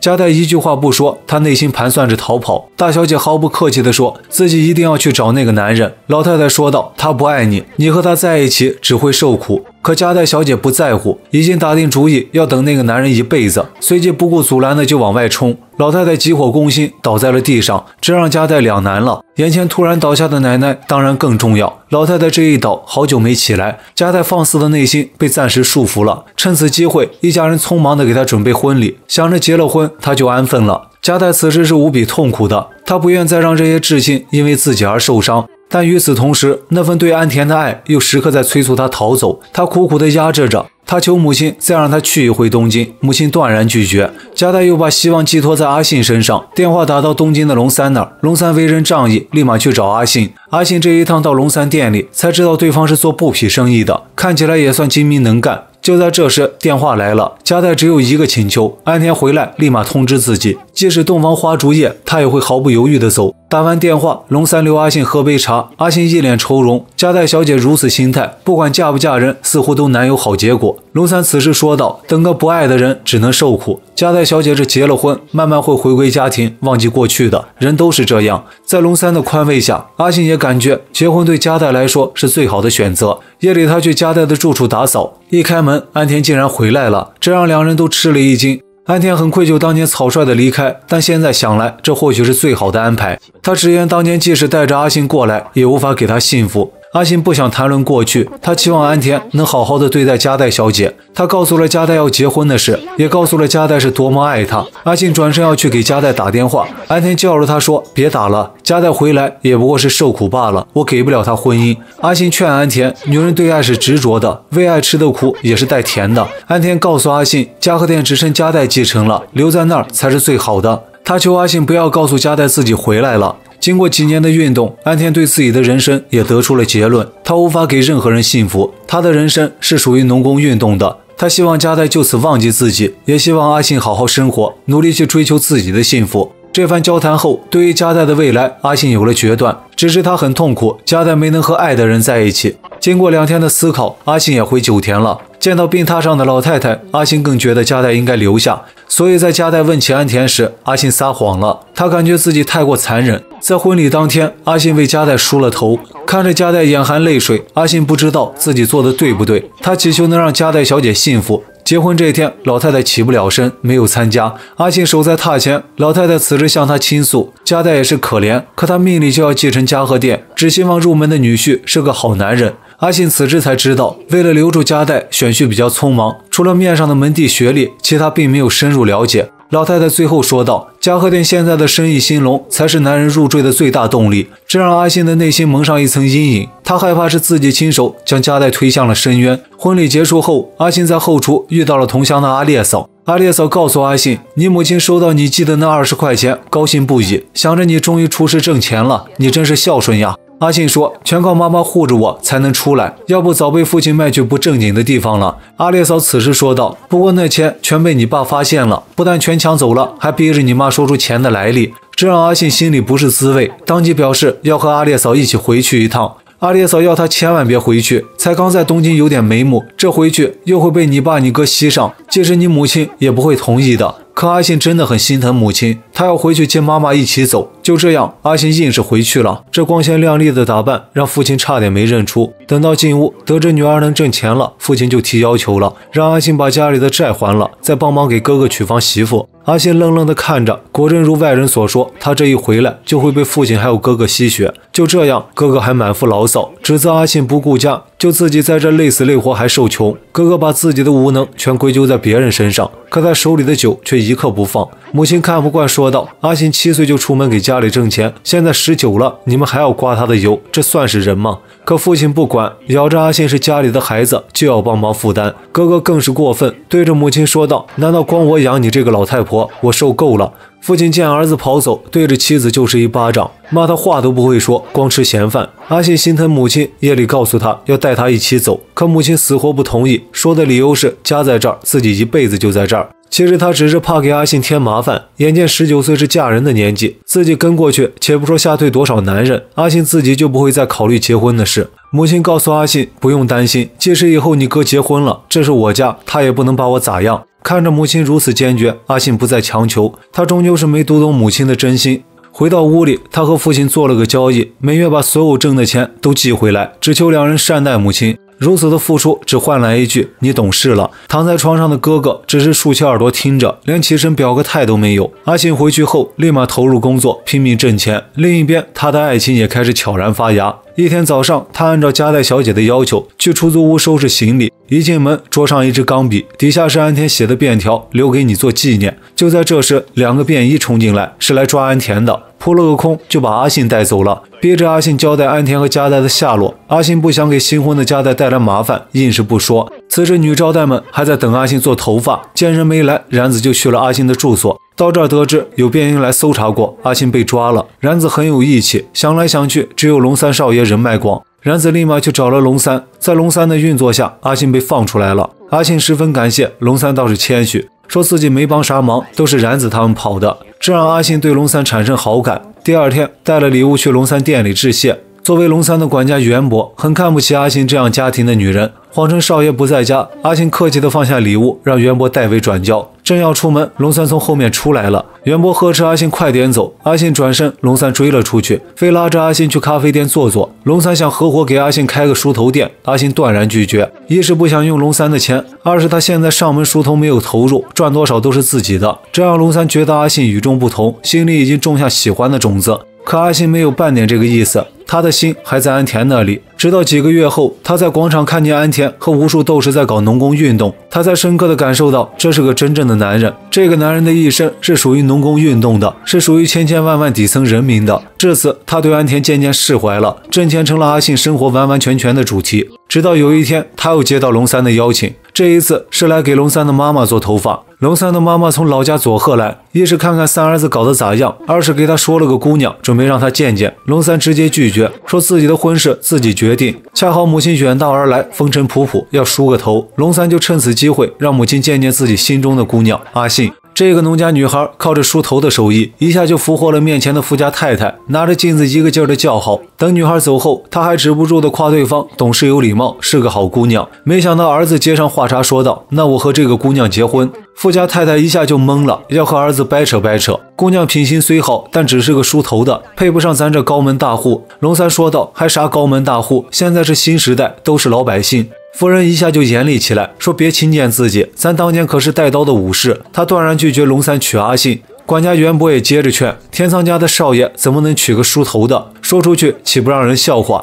第二天，袁博跑到阿信那儿，出手就是两百元，快赶上普通人一年的工资了。他劈头盖脸给阿信来了一顿，让他不要再纠缠龙三了。阿信一听就来气，我什么时候纠缠龙三了？他不要钱，让袁博走。袁博软下来说，实在不行，明天再添一百。这让阿信更来气，把我当什么人了？他反过来给袁博来了一顿。袁博灰溜溜的回去，又被龙三少爷骂一顿，说这样肯定让人家看扁，简直坏事儿。袁博嘿嘿一笑，那不更好？龙三没办法，只能硬着头皮去找阿信道歉。阿信忙工作，一直将龙三晾到晚上七点。他认为龙三只是不想结婚，随口拿他当挡箭牌，训斥龙三玩笑开的要有个度。龙三一直低着头，诚恳道歉。等阿信说完，他才抬起头，开始说自己对阿信的感情变化。他很佩服阿信的独立和坚韧，最后总结道：阿信就是他的意中人。这突如其来的表白，阿信心慌了。刚好服务员上菜，打断了他们。阿信赶忙往锅里下菜。龙三看到又是夸，说阿信贤惠。等吃到嘴里，龙三接着夸，厨艺真好。阿信被夸得不好意思，龙三再次发起攻击，求阿信和自己在一起吧。阿信说道：“我们身份不同，你父母不会同意。另外，我还要给家里挣钱。”龙三则回答：“我们在东京生活，不和父母住一起，我还可以帮你一起贴补家里。”我不同意。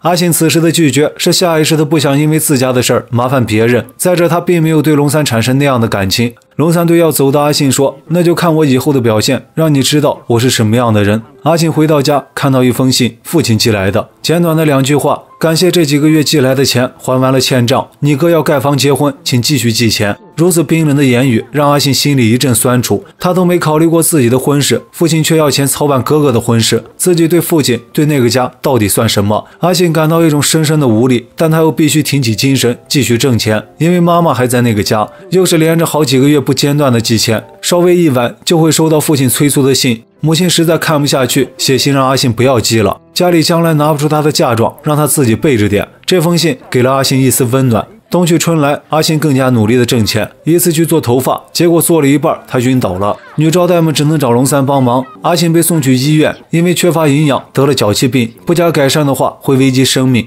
龙三一直陪在阿信身边，直到他醒来。一周的住院，龙三也守在身旁照顾。突然有一天，龙三的母亲冲了进来，让龙三和阿信断绝来往，否则龙三就要被赶出家门。龙三硬气地说道：“我会和阿信结婚，我也尊重您的意思，离开田仓家。”这话让阿信对龙三的好感又增加了。两天后，他出院，龙三提前办好了出院手续，替他交了住院费。阿阿信当然不愿这样，硬是把钱还给了龙三，这直接导致他没钱寄给家里。不出几天，父亲竟然直接找来了，刚好碰到前来看望阿信的龙三，看见龙三，左造很不高兴，不管女儿的介绍，直接定性对方不是好人，然后转头就问阿信为啥不寄钱了。女儿解释前段时间生病了。父亲震碎三观的说：“谁知道你真病假病，不能去挣钱，倒能和男人鬼混。”没想到这么肮脏的话竟出自父亲的口，阿信心里像刀割一般。可父亲还在毫无根据地给他泼脏水，说他只顾找男人，给他哥盖房的大事都不管。男人早晚会甩了你，哪有你哥信得过？我是为你好，别和男人混，多挣钱，把房子给你哥盖起来。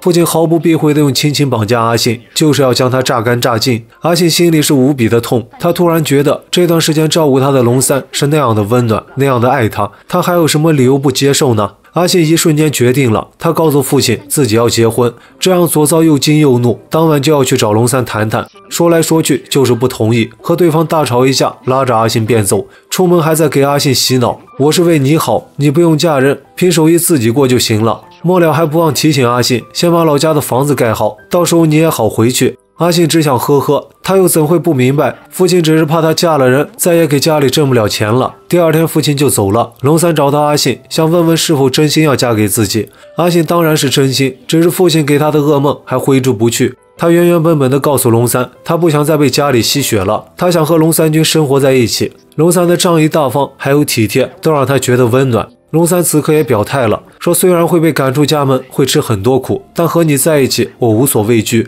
两人在没有家人的祝福、没有朋友的见证下，在小庙举行了婚礼。这一刻，阿信是无比幸福的，龙三也对未来充满希望。阿信直接搬到了龙三的铺子一起住，管家袁博想拦都没拦住。阿信早有心理准备，也打定主意要靠自己的行动打动袁博。每天早上，他早早起来做饭，其他各种烧水、打扫，阿信也都早袁博一步。与此同时，阿信也不把袁博当下人，而是像亲人一样邀他一桌吃饭。不过此时阿信还不能放下梳头的工作，他也和龙三约定了要给家里寄钱，直到房子盖起来。到了晚饭时，袁博见阿信没回来，开始劝龙三：这样只忙自己的，连晚饭都不做的妻子，怎么能算称职呢？龙三也只是笑笑，可没想等袁博跑到厨房，发现阿信留的信，晚饭都准备好了，只需要袁博按信上写的热一热就行。这一下让袁博觉得果真是个厉害姑娘。夜里阿信回来，袁博测试了阿信算账记账的能力，阿信都完成的很好。第二天，袁博就把店里的账本给阿信，让他理一理。这事儿被龙三知道，把他们俩人都骂了一顿，说女人怎么能管生意上的事儿。这一次，他着重怪罪袁博，想刁难阿信。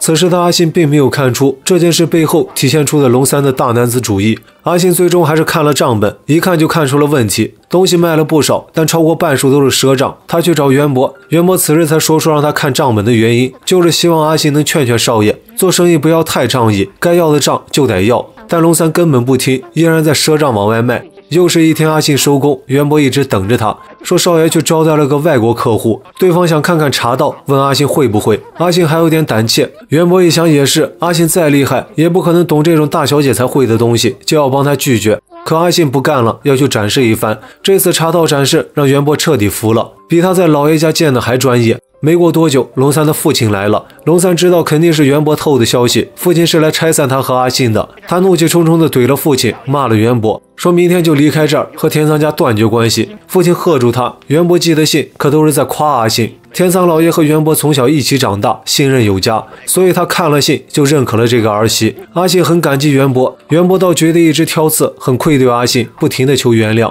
但阿信对袁博只有感谢。这一晚，阿信还展示了自己的厨艺，公公是各方各面都对阿信很满意，还给了阿信见面礼。就在这时，一封挂号信送到，阿信的父亲病危，龙三拿给阿信一笔钱，让他带回去，这样就不用再花盖房子的钱了。阿信匆匆地赶回去，房子已经盖好了。此时，哥哥带着媳妇下地回来，连句谢谢都没有，一开口就是粮食不够吃了，然后埋怨父母光吃饭不干活。随即，两人径直去了新房子，而父亲还躺在老房子。家里其他人都不敢说什么。阿信气不过，冲到新房，让哥哥把父亲搬到这儿。父ちゃんこっちに移すから手貸してけろ。なんだやぶからぼに。 哥哥此时耍起无赖，说这房不是你盖的，是父亲盖的。你把钱给他，你问他要去。我吃这么多苦，得这个房子是应该的。亲情至此，阿信还没有看明白，还在和哥哥谈孝心、谈义务。不出所料，啥结果都没有。他回到父亲身边，人之将死，才算无欲无求的公正一回。他对阿信说了句对不起，阿信瞬间就忘了之前父亲带给他的所有委屈。他告诉父亲自己结婚了，父亲非要起身喝一杯祝福阿信。佐造说自己的任务结束了，还了债，盖了房，给儿子娶了媳妇。就在当晚，佐造停止了呼吸，不知为何来，也不知为何去，但在几十年的生命中却没有一刻停息。最终在总结人生意义的时候，只想到了房子和儿子，但儿子却因为怕花钱，连葬礼都草草了事，房子更是一天都没让住。这真的算是有意义吗？阿信在临走前渴求母亲一起走，母亲拒绝了。嫁出去的人，他更不好跟着。阿信独自一人上路了。他先顺道去了酒田，看望老太太和加代。得知阿信结婚了，老太太喜笑颜开，加代小姐也获得短暂欢愉。他不由得佩服阿信一直在追逐自己的生活。反观自己，被困在不想要的生活中，不爱的人身边。加代再次问阿信有没有安田的消息。安田是他离开这个家唯一的勇气。他求阿信撒个谎也行。阿信再与众不同，也不敢打破世俗，让一个已婚女人抛家舍业，追求不被认可的幸福。他坚决地告诉加代，没有安田的消息，他把你忘了。他请加代振作起来，别任性了。你从不接受你丈夫，你丈夫怎么可能爱你呢？正说着，加代的丈夫回来，要商量个事儿。夫人本想把阿信介绍认识认识，没想到这个女婿不必家丑的说道，自己在外面有孩子了，要生下来。加代跑了出去，这样的生活真是地狱。可为了顾全家和店的脸面，他又无法离婚。阿信看到这一切，心如刀绞，却又无能为力。坐在回去的火车上，他无比庆幸遇到了龙三，心想着一定要和龙三好好生活。这次回来，阿信基本放弃了梳头，安心做起了龙三的贤内助。但很快他就发现问题，店里每月开支比收入都多。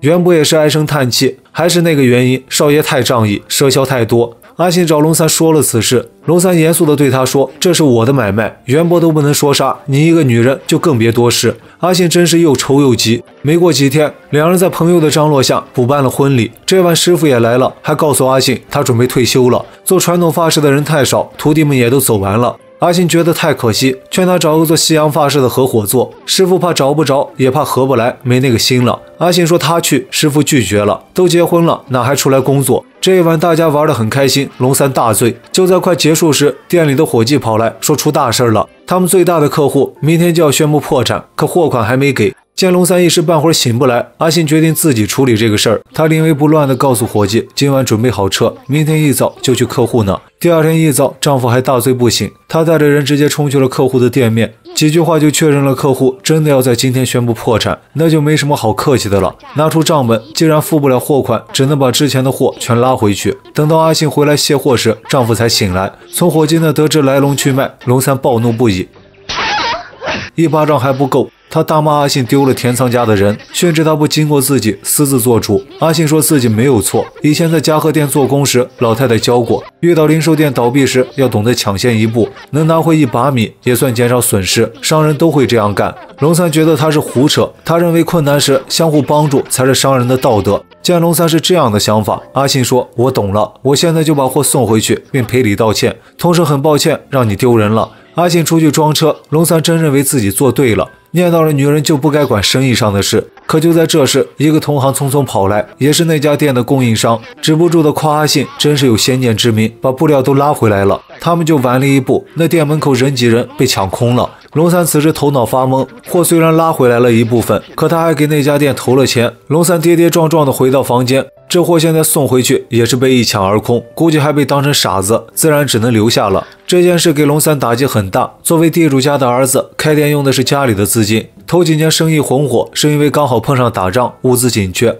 这导致龙三几乎没受过什么挫折，更让他误以为这一切都是因为自己能力强，所以他无比自信自己那套商业思想。直到现实给他上了一课，直接让他的自信跌落谷底，连续好多日子都对生意不管不顾，家里生活开销都出现问题。阿信拿出公公给他的红包，让袁博先救急，怕伤龙三的自尊，两人还约定保密。临近年关，梳头店的小师妹阿绿突然找来，求阿信帮个忙。因为过年，店里这两天梳头的突然暴增，师傅不好意思拒绝，都快累倒了，求阿信去帮帮忙。阿信征得龙三同意，才去了师傅那儿。师傅感动不已，家里剩龙三和袁博，龙三向袁博吐露心声，就不该结婚，这还连累了阿信，真是对不起他。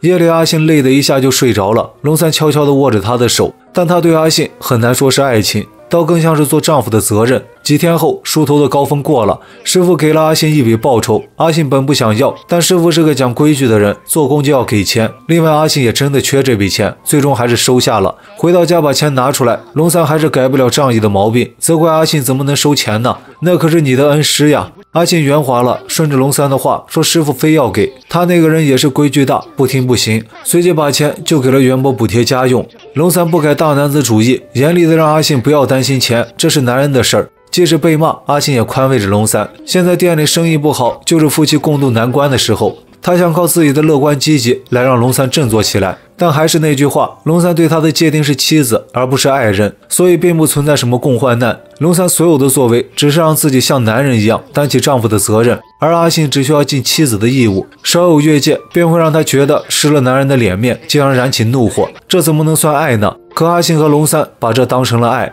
第二天，龙三打起精神去揽生意，想担起做丈夫的责任。阿信则决定去梳头店和师傅合伙经营，分担丈夫的责任。师傅那边倒没什么，只是可怜阿信竟这么快落到这个地步。回家，阿信怕伤到龙三的自尊，只能一点点的试探。先说是师傅的请托，又说自己在家无聊，想干点活。龙三听出名堂，一跃而起。他还是不同意，去干活可以，就是不能挣钱。阿信说：“袁博说要关店回佐贺去，回去婆婆肯定反对我们的婚事。我们不是发誓要留在这儿吗？”龙三确实答应阿信要留在这儿，可凭他自己已经快撑不住这个誓言了。他半推半就的同意阿信出去干活。阿信每天依旧把饭给他们做好，然后自己才出门。龙三心里是无比的别扭。做生意还得看阿信的，一上来活先不干，先给店里写了几十张广告，在附近都贴上。很快大家都知道这家老店也开始做西洋发型了，人渐渐多了起来。再加上手艺好，不出半月已经忙不过来，客人都要排队等。这个发屋一下又和往日一样红火。只做传统发型的师傅也开始做西洋发饰，还收了新的徒弟，一片欣欣向荣的模样。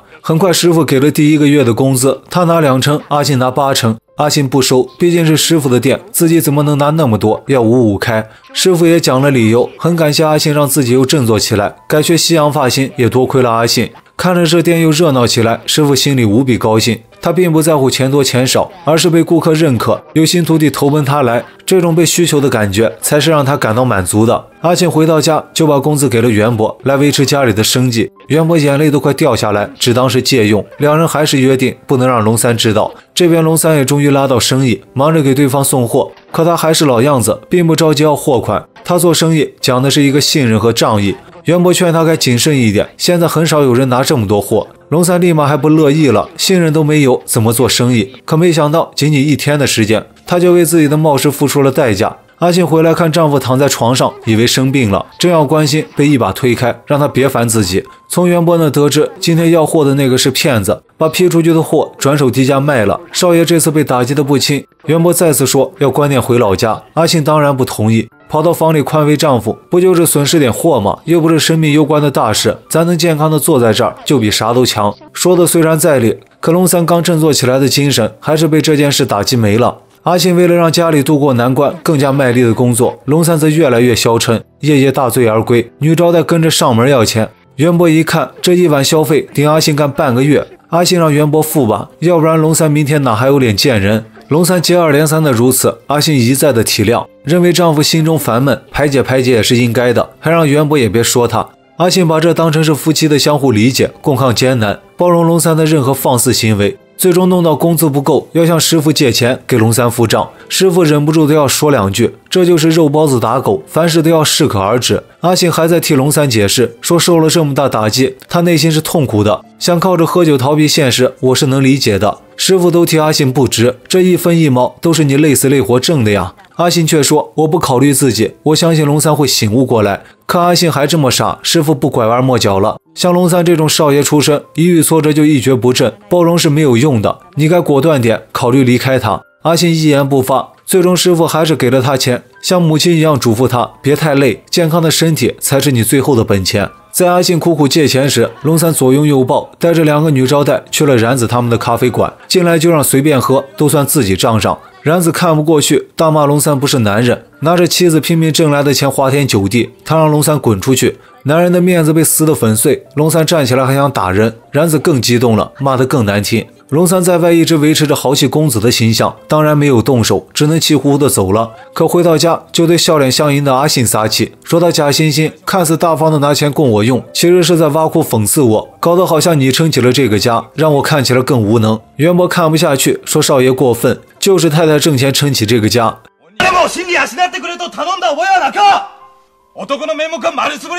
龙三越说越气，最后提出离婚。整天看着阿信的脸，还不如饿死算了。袁博替龙三给阿信道歉，阿信一言不发，果真是自己错了。他默默的下了决心，还是听师傅的，离婚。但就在这时，她突然出现孕吐。阿信多么渴望这是虚惊一场，但检查后，她真的怀上了。女人一个月挣五十八块一毛，是普通人两倍的工资，这让一毛不挣的丈夫心里不平衡了，大骂妻子让他丢尽了脸面，因为外面都说他靠老婆养着。说到激动处，男人要休了妻子，一心付出却是这个结果。阿信此刻也下定主意离了算了。可老天就是爱开玩笑，正当阿信准备告别旧生活时，他突然发现自己怀上了。此刻连师傅都无力再劝他，或许这就是他的命。阿信思来想去，即使不离，也不能再像现在这样过。她向师傅提出辞职，既然丈夫嫌她养家丢人，那就让丈夫来养家。回到家，阿信就说了辞职的事。丈夫早已忘记当初要留在东京奋斗的誓言，说既然辞了，那咱就回佐贺老家。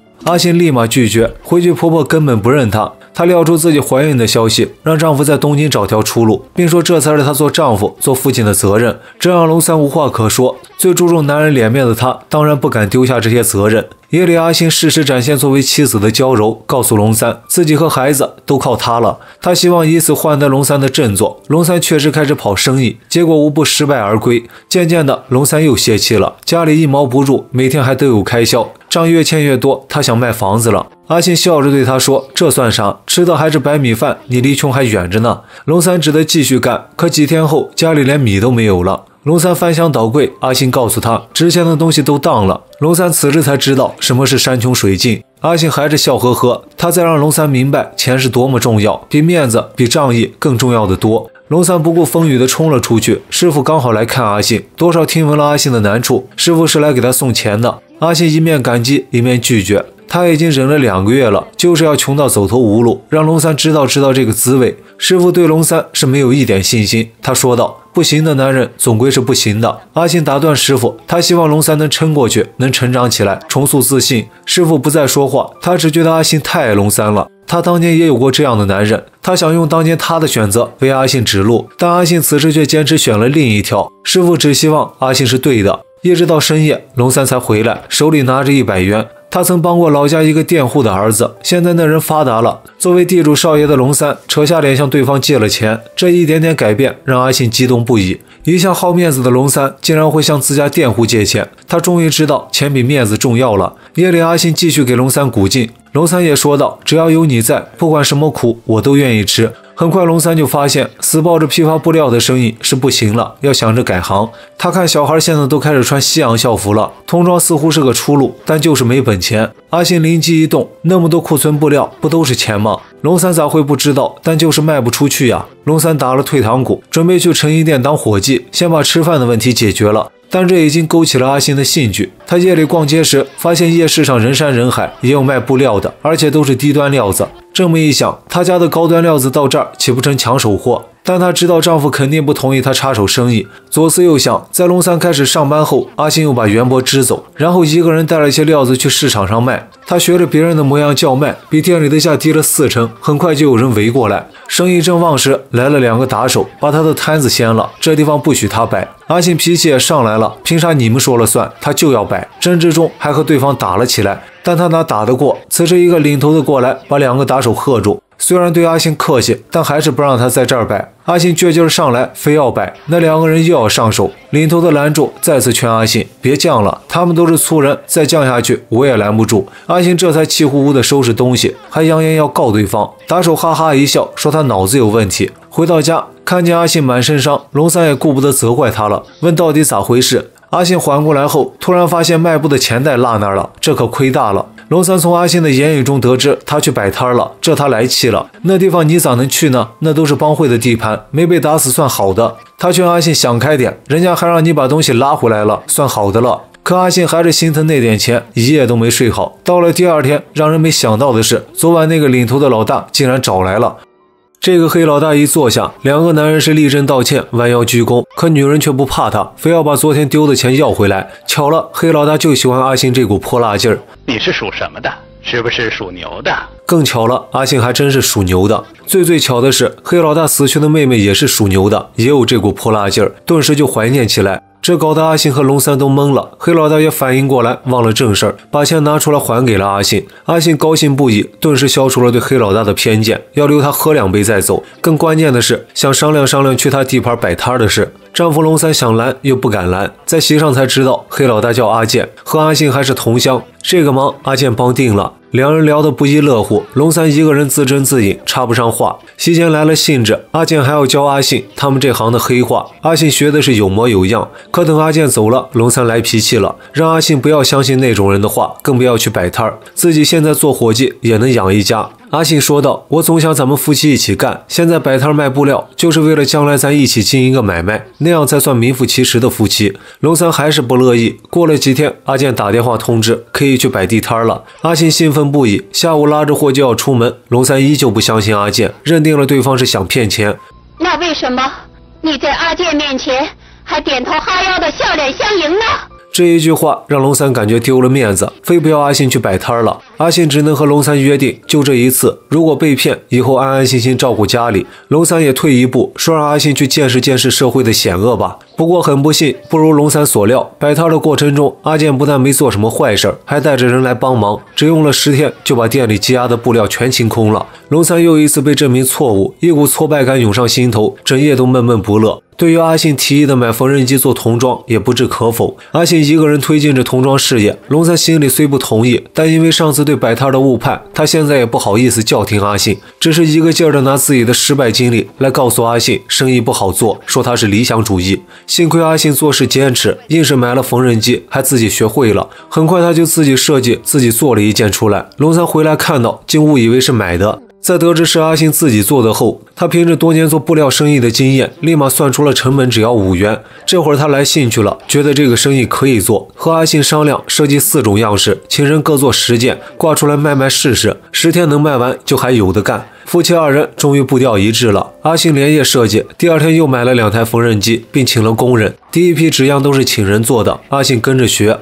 袁博也没有闲着，领口袖口他又手缝一遍，这样更精细。很快，新的童装店终于开起来了，亲朋好友都来祝贺。第一天生意还算红火，但到了十天头上，并没有卖完。既然之前约定了十天，阿信就决定放弃了。可这回龙三不干了。中午来了两个男人，是大爷百货的采购经理，这是龙三上门推销的结果。两个人看了这些衣服，样式和做工都不错，直接要定下全部。这回轮到阿信缺乏远见了。他认为自己的衣服为啥要批给大爷百货呢？龙三告诉他，咱们并不是货不好，而是没有名气，人流量也少。但这些大爷百货都有。果真如龙三所说，他们的货一天就被抢光了。大爷百货第二天就来商量合作，要他们供货。龙三直接接下了订单。阿信觉得太冒失，他们只有两个工人干不完。可龙三只用了一天，就又买了三台缝纫机，还找了四个工人，把阿信的工位都顶替了。这让阿信越来越忧虑，感觉发展太快了。可很快证明，阿信的忧虑是多余的。龙三这一波的快速反应，确实抓住了商机。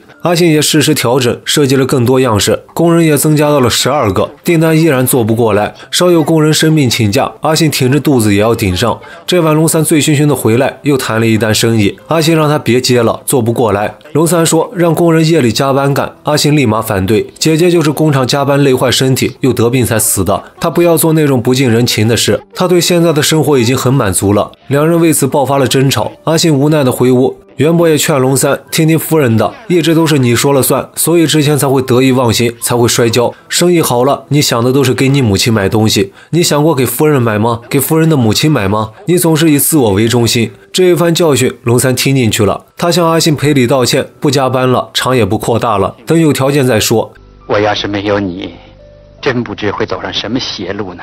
阿信的付出，龙三终于是既看见又体谅了。这一次，他也给阿信准备了个惊喜，偷偷接来了丈母娘阿腾。看见女儿家雇了一屋子的工人，老人吃惊不已，一个个鞠躬打招呼。他怎么都想不到，从小吃不饱饭的女儿，今天竟干着这么大的事业。女婿又这么体贴，不但往家里寄了路费，还亲自去车站接。晚上，女婿龙三安排了最好的料理店。吃着这么好的饭菜，老人竟觉得浪费了，转头和女儿阿信说起小时候吃的萝卜饭，那真是一辈子都忘不了。种粮的吃不起米，只能把萝卜切碎煮煮吃。说着说着，母亲哭起来。谁能想到今天能坐在这儿吃大鱼大肉？他感觉沾了女婿的光，更觉得阿信真是幸福。在这之后，阿信陪着母亲看了戏，逛了大商场，体验了一把城市生活。紧接着，阿信就生了，生了个儿子，取名阿雄，生意兴隆，家庭美满。二十三岁的阿信真觉得。自己活在蜜里，夜里认识的亲朋好友全来祝贺他。这些人是看着阿信一路走来的，席间不由得就说起往事：学徒时的刻苦，独立后的辛劳，结婚这两年的各种危机。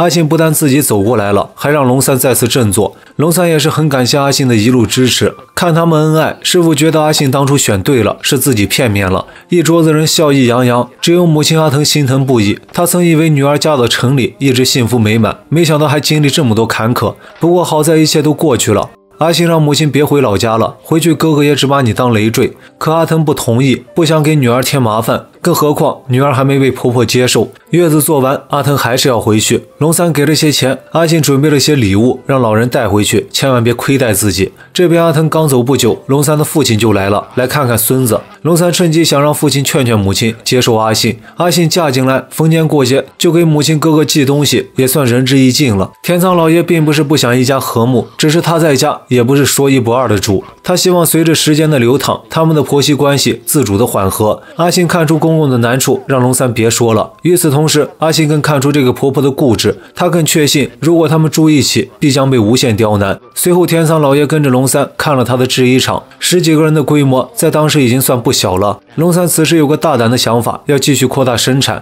天仓老爷鼎力支持，他认为男人想干就要干一个试试，否则会后悔一辈子。他决定给龙三支持一千块，龙三高兴不已。阿信得知这个消息，有些犯愁。借钱搞生意，他觉得冒险。龙三认为，现在大家刚开始接受洋装，市场前景很好，要抓住机会。龙三对未来充满希望。另外，如此着急的扩大规模，他还想做给母亲看，让母亲知道有阿信的支持，自己才能做起来。阿信听了这话，忧心和感动齐齐涌来。他对公公也说了此事，公公和龙三的态度一样，做出个样，让他母亲看看，这样你们就可以风光的回家了。阿信无法再劝。新的一年，龙三立马开始筹备新厂的事儿，从附近的拿了钱，还借了外债，把手头的也都用上。新厂要扩充到现在的三倍左右。在龙三忙碌时，加代小姐突然来了，她是借口看阿信才从嘉禾店出来了，但真正的目的是想见见安田。她听说安田已经回来了，还有了固定的办公地点。阿信劝她别做傻事，可加代太爱安田了，又看到阿信如此幸福，她更后悔当初没有坚持追爱，跑回了家。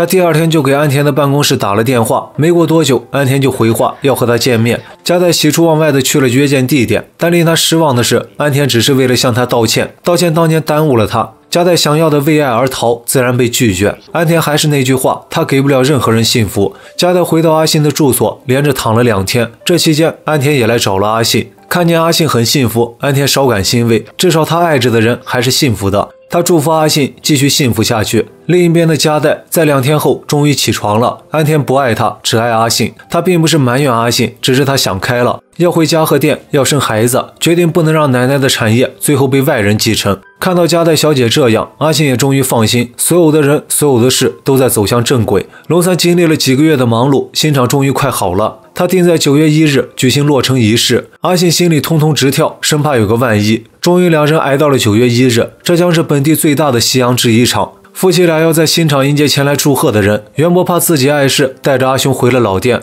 到了中午，正当阿信和师傅还有姐妹们说话时，突然天摇地动。当阿信缓过来时，才知道地震了。他和龙三着急地跑回老店。袁博用自己的身体护住了阿雄，可袁博死了。龙三和阿信要把他挖出来。此时有人来疏散，着火了，让他们赶紧逃。龙三只能拉着阿信先走。地震的直接损失远没有后期的火灾损失大。由于木质建筑，火灾几乎把一切烧光了，包括龙三的工厂。龙三绝望了。愣了两天，他告诉阿信回佐贺老家。阿信不同意，吃再多苦他也要在这儿。他愿意和龙三从头再来，可龙三已经没有那个心气儿了。不管阿信回不回，他都要回。龙三对阿信的爱，直至今日还是单薄的，更多的只是基于丈夫身份和男人脸面的责任。在生活一帆风顺时，这种责任很容易承担，用金钱、用话语、用事业心，让妻子感到生活无忧，内心满足即可。这也是富裕者看起来矛盾更少，夫妻更和睦的原因。但当生活遇到真正的危机，无法再担起这些责任时，他也就不再顾及妻子的感受，而是以自我为中心的做出决定，矛盾也就起来，争吵也就变多，贫贱夫妻也就百事哀。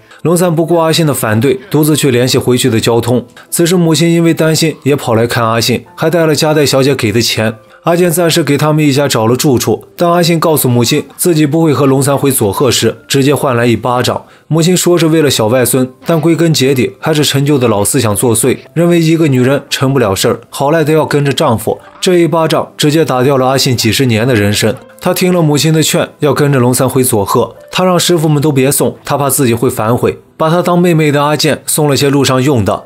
就这样，一切就这样，就这样过去吧。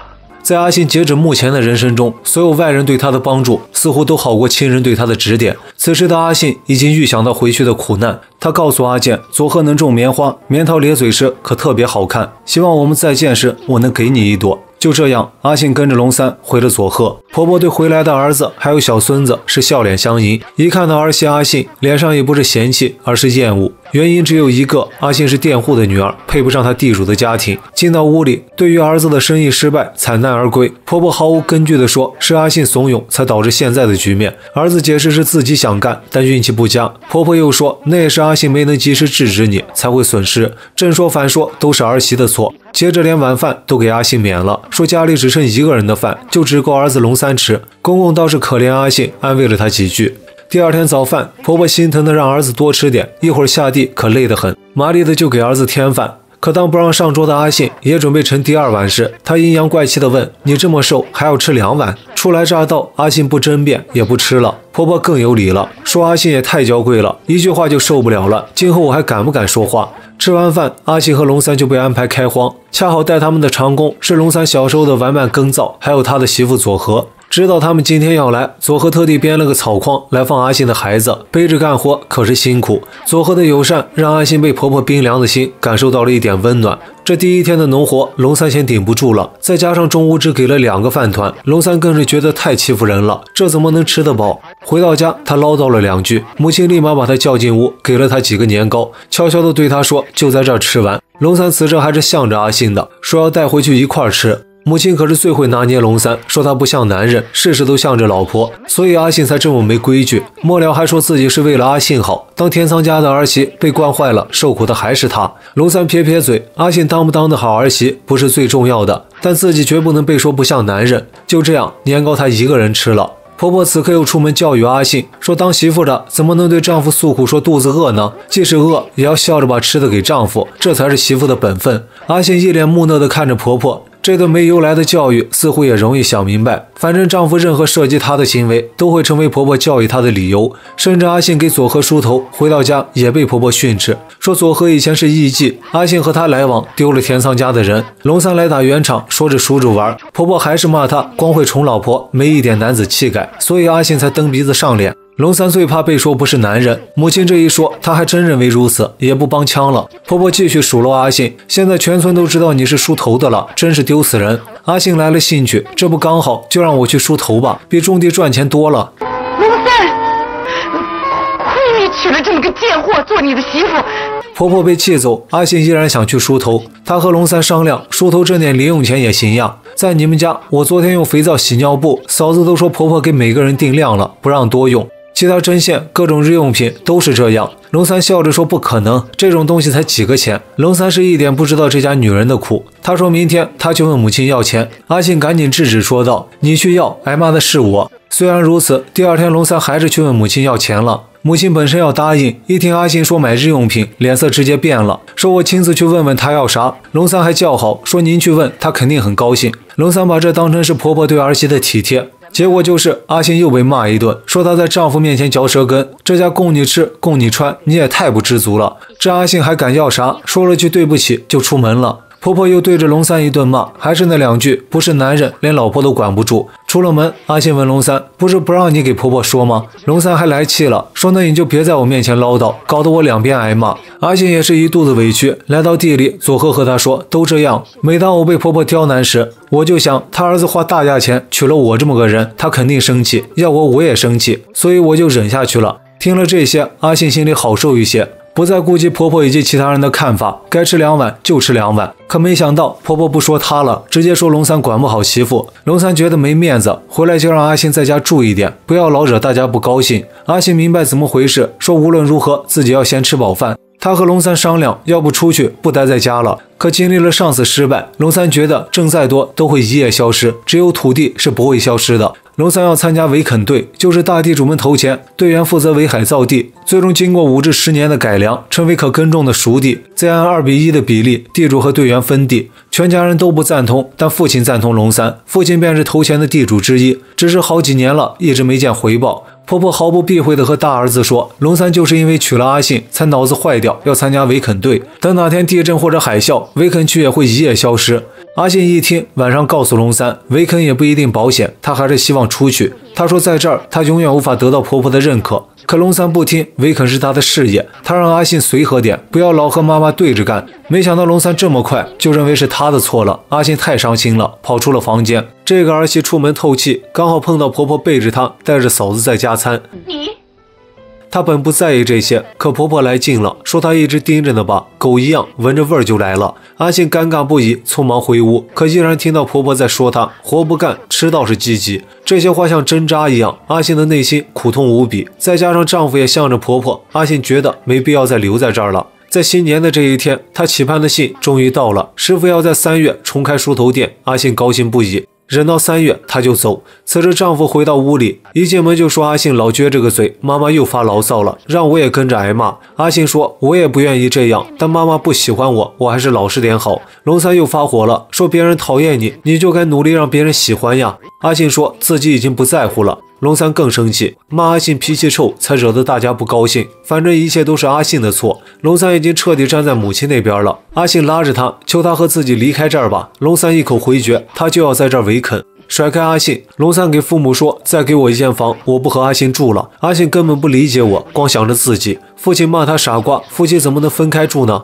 母亲却火上浇油，说龙三总算看清阿信的真面目了。已经出嫁的妹妹更是管得宽，劝龙三赶紧分手。母亲也接上话，一边挑阿信的理，一边就给龙三参谋起别家的姑娘。龙三要真有这个魄力还好了，男人不行，总归是不行的。一是他对阿信还有点感情，二是现在抛弃阿信，他怕别人说闲话丢面子，他回绝了母亲和妹妹。不过对婆婆来说，这是个好的开始。她立马去拿龙三的被褥，顺便再挖苦几句，让阿信心凉。最后抱着被子，还劝阿信该走就走，我绝不拦你。此时阿信反倒轻松了，既然丈夫都背弃自己了，那就没啥好留恋的了。她只等三月的到来。但在三月快来之时，发生了一件事，和阿信相熟的佐贺跳河了。阿信一边叫一边把她晃醒。佐贺一直被婆家安排住在库房，根本不让进门。阿信猜也猜得到佐贺跳河的原因。最伤人的不是拳脚，而是无下限的歧视羞辱，以口舌为刀剑，不伤肌肤便刺破人心。都是苦命人，阿信决心带着佐和一起走。他给佐和讲了自己的计划，幻想着他们到了东京的自由自在。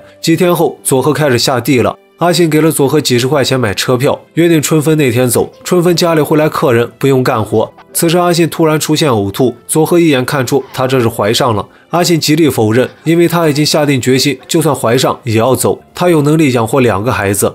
终于等到春分这一天，龙三的二哥回来。二哥是见过新时代的，对阿信态度还不错。本以为今天不干活，没想到婆婆还是安排阿信去嫁豌豆藤，却把自己的女儿赌子叫回了娘家，说在婆家肯定被安排干这干那。二儿子说他区别对待，说自己那是教育儿媳，赌子留婆家可是受虐待，要不然也不会现在都没怀上。肚子羞涩一笑，说怀上了。刚才的话题立马翻篇，都围着赌子怀孩子的事高兴。此时大儿媳却被安排在厨房操持，三儿媳阿信正准备下地。到了地里，他撂下竹竿，跑到和佐贺约定的地点等着。可另一边的佐贺却叫来了龙三，告诉了阿信的计划，求龙三别让别人知道，偷偷把阿信追回来。阿信见佐贺没来，还准备去找，刚好被龙三截在半路。龙三抓着他不让走，如果要走，也把孩子留下，说他一个人去东京，怎么照顾得了孩子？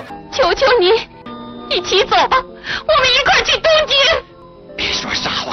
那就没什么好说。阿信要带着孩子走，龙三上手抢，一把推倒阿信，阿信撞到石头上，晕了过去。等他醒来，他还挣扎着去东京，可右胳膊已经动不了。阿信太不甘心了，他可以接受失败，但他接受不了背叛。此时佐和也来了，龙三去找车，佐和看着阿信，他求阿信原谅，他也想走，只是看出阿信怀了孩子，这样去了东京也干不了活，会更受苦。听到这话，阿信也不愿再多说。佐和的好心不但耽误了自己，也耽误了他。龙三把他拉了回去，一家人都在聚餐，除了公公，没一个人起身看一眼。婆婆还不让找医生，说大过节的，让儿媳拿点药给他。最后，在部队学过医的二哥给阿信做了消毒包扎。对于阿信受伤，龙三隐瞒了实情，说是不小心摔的。婆婆不信，又各种挑阿信的理。阿信由于高烧躺了三天，婆婆逢人就说阿信的不是，光吃饭不干活，花钱吃药，照顾不了孩子，都是阿信的错。她还跑到阿信面前唠叨，把这些都说一遍，还要刨根究底为啥受伤。阿信没说话，龙三把母亲支走了。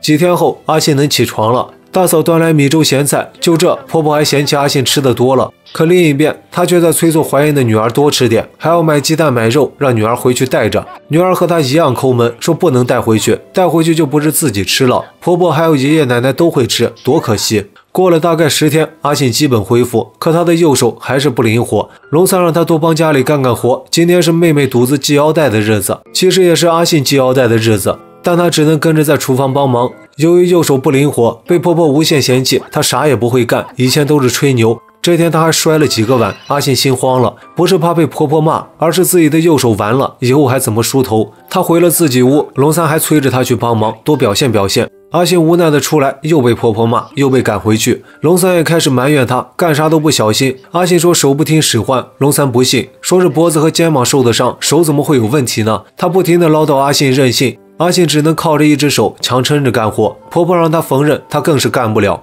婆婆追着龙三问：“你不是说阿信家务活很厉害吗？这手好好的，拿不了针，这简直笑话！”他在龙三这发牢骚，龙三转头就对着阿信出气：“拿不了镐把。”龙三说他是不想干。阿信挣得满头大汗，手还是使不上劲儿。这日子阿信过得比以前还苦。佐贺来道歉，外加还钱，阿信没要，他恨呀。日子一天天的过，佐贺又来了，买了一条腰带，让阿信系上，对孩子好。此时阿信的气渐渐消了，说了句谢谢。一天忙碌回到家，他又受到婆婆的刁难，说他手都好了，还只干半个人的活。龙三也不再帮他说话。最后公公看不过去，说要带阿信去城里检查检查。婆婆又嫌花钱，公公喝住他。第二天硬是带着阿信去了。回来后，这损伤怕是很难恢复。公公可怜阿信，商量着让他回娘家休养休养。婆婆高兴了，让把孙子留下，把阿信赶走，儿子再去。可公公并不是这个意思。龙三别别扭扭，或许确实该让阿信回去休养。他正要给阿信说，却刚好看到阿信的腰带。龙三虽然高兴阿信怀上了，还是把回娘家的事儿告诉了他。阿信怎么会走？他不想让母亲看见他过得不好。此时阿信是最无助的，他哀求龙三让自己留下。求求你，我会好好锻炼我的手。尽量不给你添麻烦，我会拼命干的。龙三也觉得阿信可怜，就留下了。两人的感情在一点点恢复，因为有了身孕，龙三也终于挺起腰杆护着阿信，对母亲的指责也敢怼回去了。一天下地回来，婆婆怒气冲冲，阿信逃跑的事儿被发现了，是佐和的婆婆来说的。阿信顾不得婆婆的训斥，立马跑去找佐和，他怕佐和出事儿。一出门碰见根造，把佐和还给我。原来就在昨晚，根造的妹妹想着佐和有几件漂亮衣服，就想拿来穿，结果翻到了钱。婆婆外加小姑子说她勾搭男人赚来的，将她打到墙角。根造也让她说明钱的来历，无奈佐和说了实情，但佐和也待不下去了，他连夜逃走了。说着说着，根造也明白了，逃走也好，跟着自己只能受苦。接着就轮到阿信被修理，这次幸好龙三站出来替阿信挡住了母亲的暴风雨，并承认是自己导致阿信受伤的，怀孩子的事儿也不再隐瞒，阿信这才躲过一劫。这期间，阿信一点都不觉得苦了，因为他感受到了龙三的爱。但婆婆很快就又找麻烦了，女儿和儿媳同时怀上孩子，可这个老太婆听到一种说法，一家如果同时有两个人生孩子，那必定有一个要夭折。于是他就让儿子把儿媳赶到外面去生。儿子龙三当然不同意。阿信是我老婆，是咱家的儿媳，为啥要到外面生？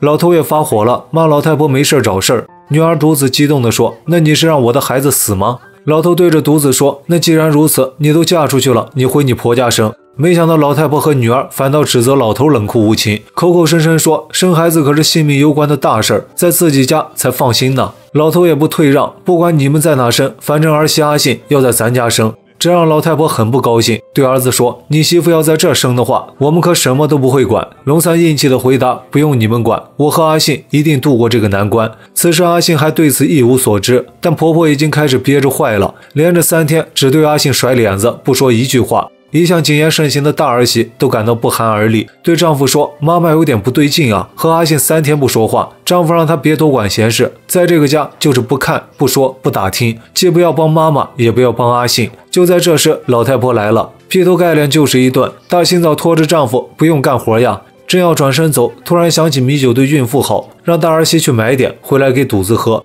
另一边的阿信却还在地里干着活，吃着饭团。等到他们下午回来，刚好看到大嫂在井边晾的米酒。龙三还以为是给阿信准备的，可到吃饭时，妈妈发话：“大家都别吃，肚子有身孕，米酒只给他一个人。”龙三坐在那，心里不是滋味。终于他们吃完，轮到媳妇们吃了。龙三对大嫂发了脾气，不能给阿信吃米酒吗？阿信怀着孩子还去干活，独自每天就在家玩，为啥区别对待？大嫂一言不发，妈妈叫住龙三说：“独子和阿信不一样，独自嫁出去了，在咱家就是客人，当然要好好招待。”紧接着就骂龙三不像男人，为了一碗米酒嚷嚷。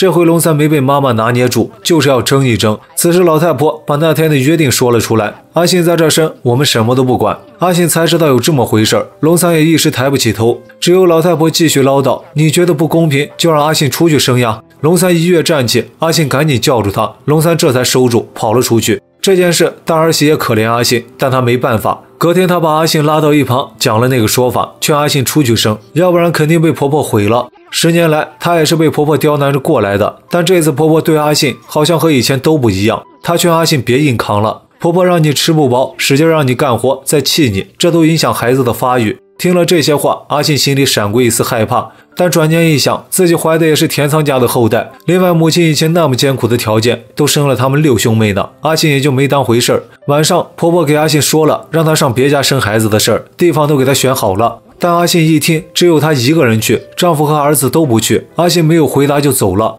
大嫂偷偷跑来劝她，这样最好，给你找的那家受过田仓家的恩，你去那儿肯定受照顾，比在这受苦强呀。可阿信很倔，她立马告诉婆婆，自己是田仓家的媳妇，就要在田仓家生。婆婆拿自己长辈的身份来压阿信，做儿媳妇的不许违背，只能服从我。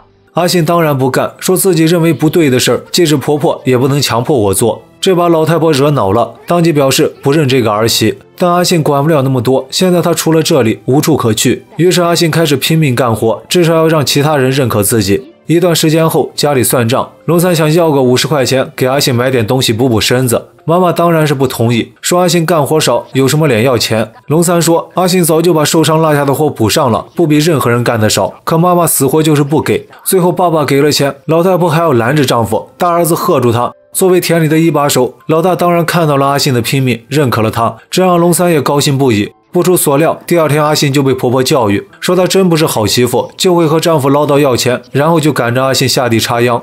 这个婆婆把怀孕的三儿媳赶去地里插秧，转头却把怀孕的女儿从婆家接回来，说是怕婆家也让女儿下地插秧。接着还命令大儿媳煮点年糕小豆汤给女儿独自补补。在吃年糕小豆汤时，老太婆告诉孙辈儿，千万别给别人说咱吃年糕小豆汤了，这可不是谁都有，这小孩哪能守住秘密？老三和媳妇从地里回来，小侄女一秃噜嘴就说了吃小豆汤的事儿，还说独子姑姑一个人就喝了三碗。龙三跑进屋里，替阿信问母亲要一碗年糕小豆汤。老太婆此时还在打马虎眼，说家里又没啥喜事儿，哪会做年糕小豆汤呀？龙三气愤地说，在家里不干活的人喝三碗小豆汤，在地里拼命干活的人连一碗都不给，天底下有这样的道理吗？此时阿信刚好进来，赶紧拦住龙三，让他别说了。婆婆却又发火了，说你们本来就靠着我们，我怎么做还要你管？龙三更气，我干活正吃的，反而成了依靠你们。阿信见情势不对，把龙三拉了出去。虽然他也觉得不公平，但龙三有这个护着自己的心，阿信已经很满足了。他甚至一点不恨婆婆，因为结婚时婆婆就无限反对，现在又跑来一起生活，婆婆不舒服是正常的。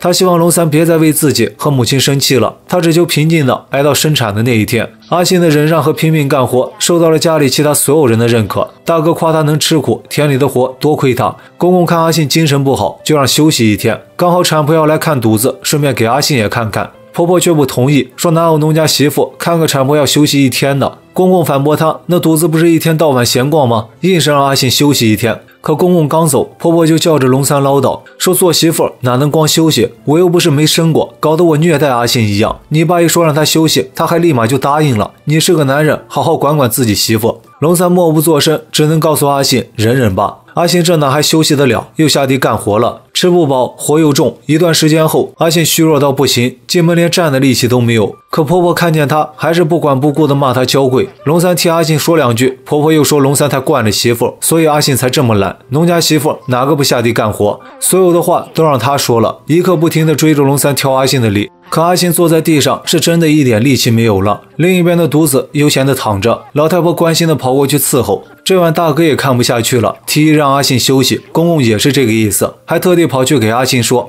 可婆婆又拉着龙三唠叨，龙三实在听不下去，只能去给阿信说再忍忍。第二天，阿信只能继续去干活。公公出来一看，把龙三骂了一顿，连自己的媳妇都不心疼，你怎么当丈夫的？然后又严厉的对阿信说：“自己的身体你自己也要爱护呀。”最后跑到屋里给妻子下命令，必须让阿信休息。阿信休息是休息了，可婆婆没有给他一个好脸，动不动还要撂两句话，什么光吃饭不干活，脸皮厚装可怜。老太婆和女儿坐在那儿，是一刻不停的挑阿信的理。阿信也来气了，面条煮好他也不吃了。老太婆刚好抓住把柄，逼着阿信吃完。这阿信还怎么休息得下去？第二天又跟着下地了。没过多久，快要生了，院里只能一个人。阿信被安排到了院外的仓房生。大嫂实在看不下去，给阿信拿来了分娩时用的布，然后交代了几句。她也是这家的儿媳，当年也是一路吃苦吃过来，其他多的也帮不了，只能祝阿信生个胖娃娃。这一点好心，阿信感激不已。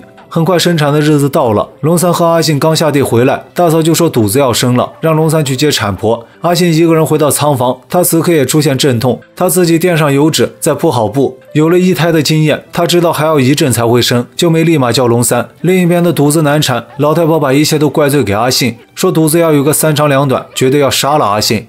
你再这么胡说八道，我揍扁了你！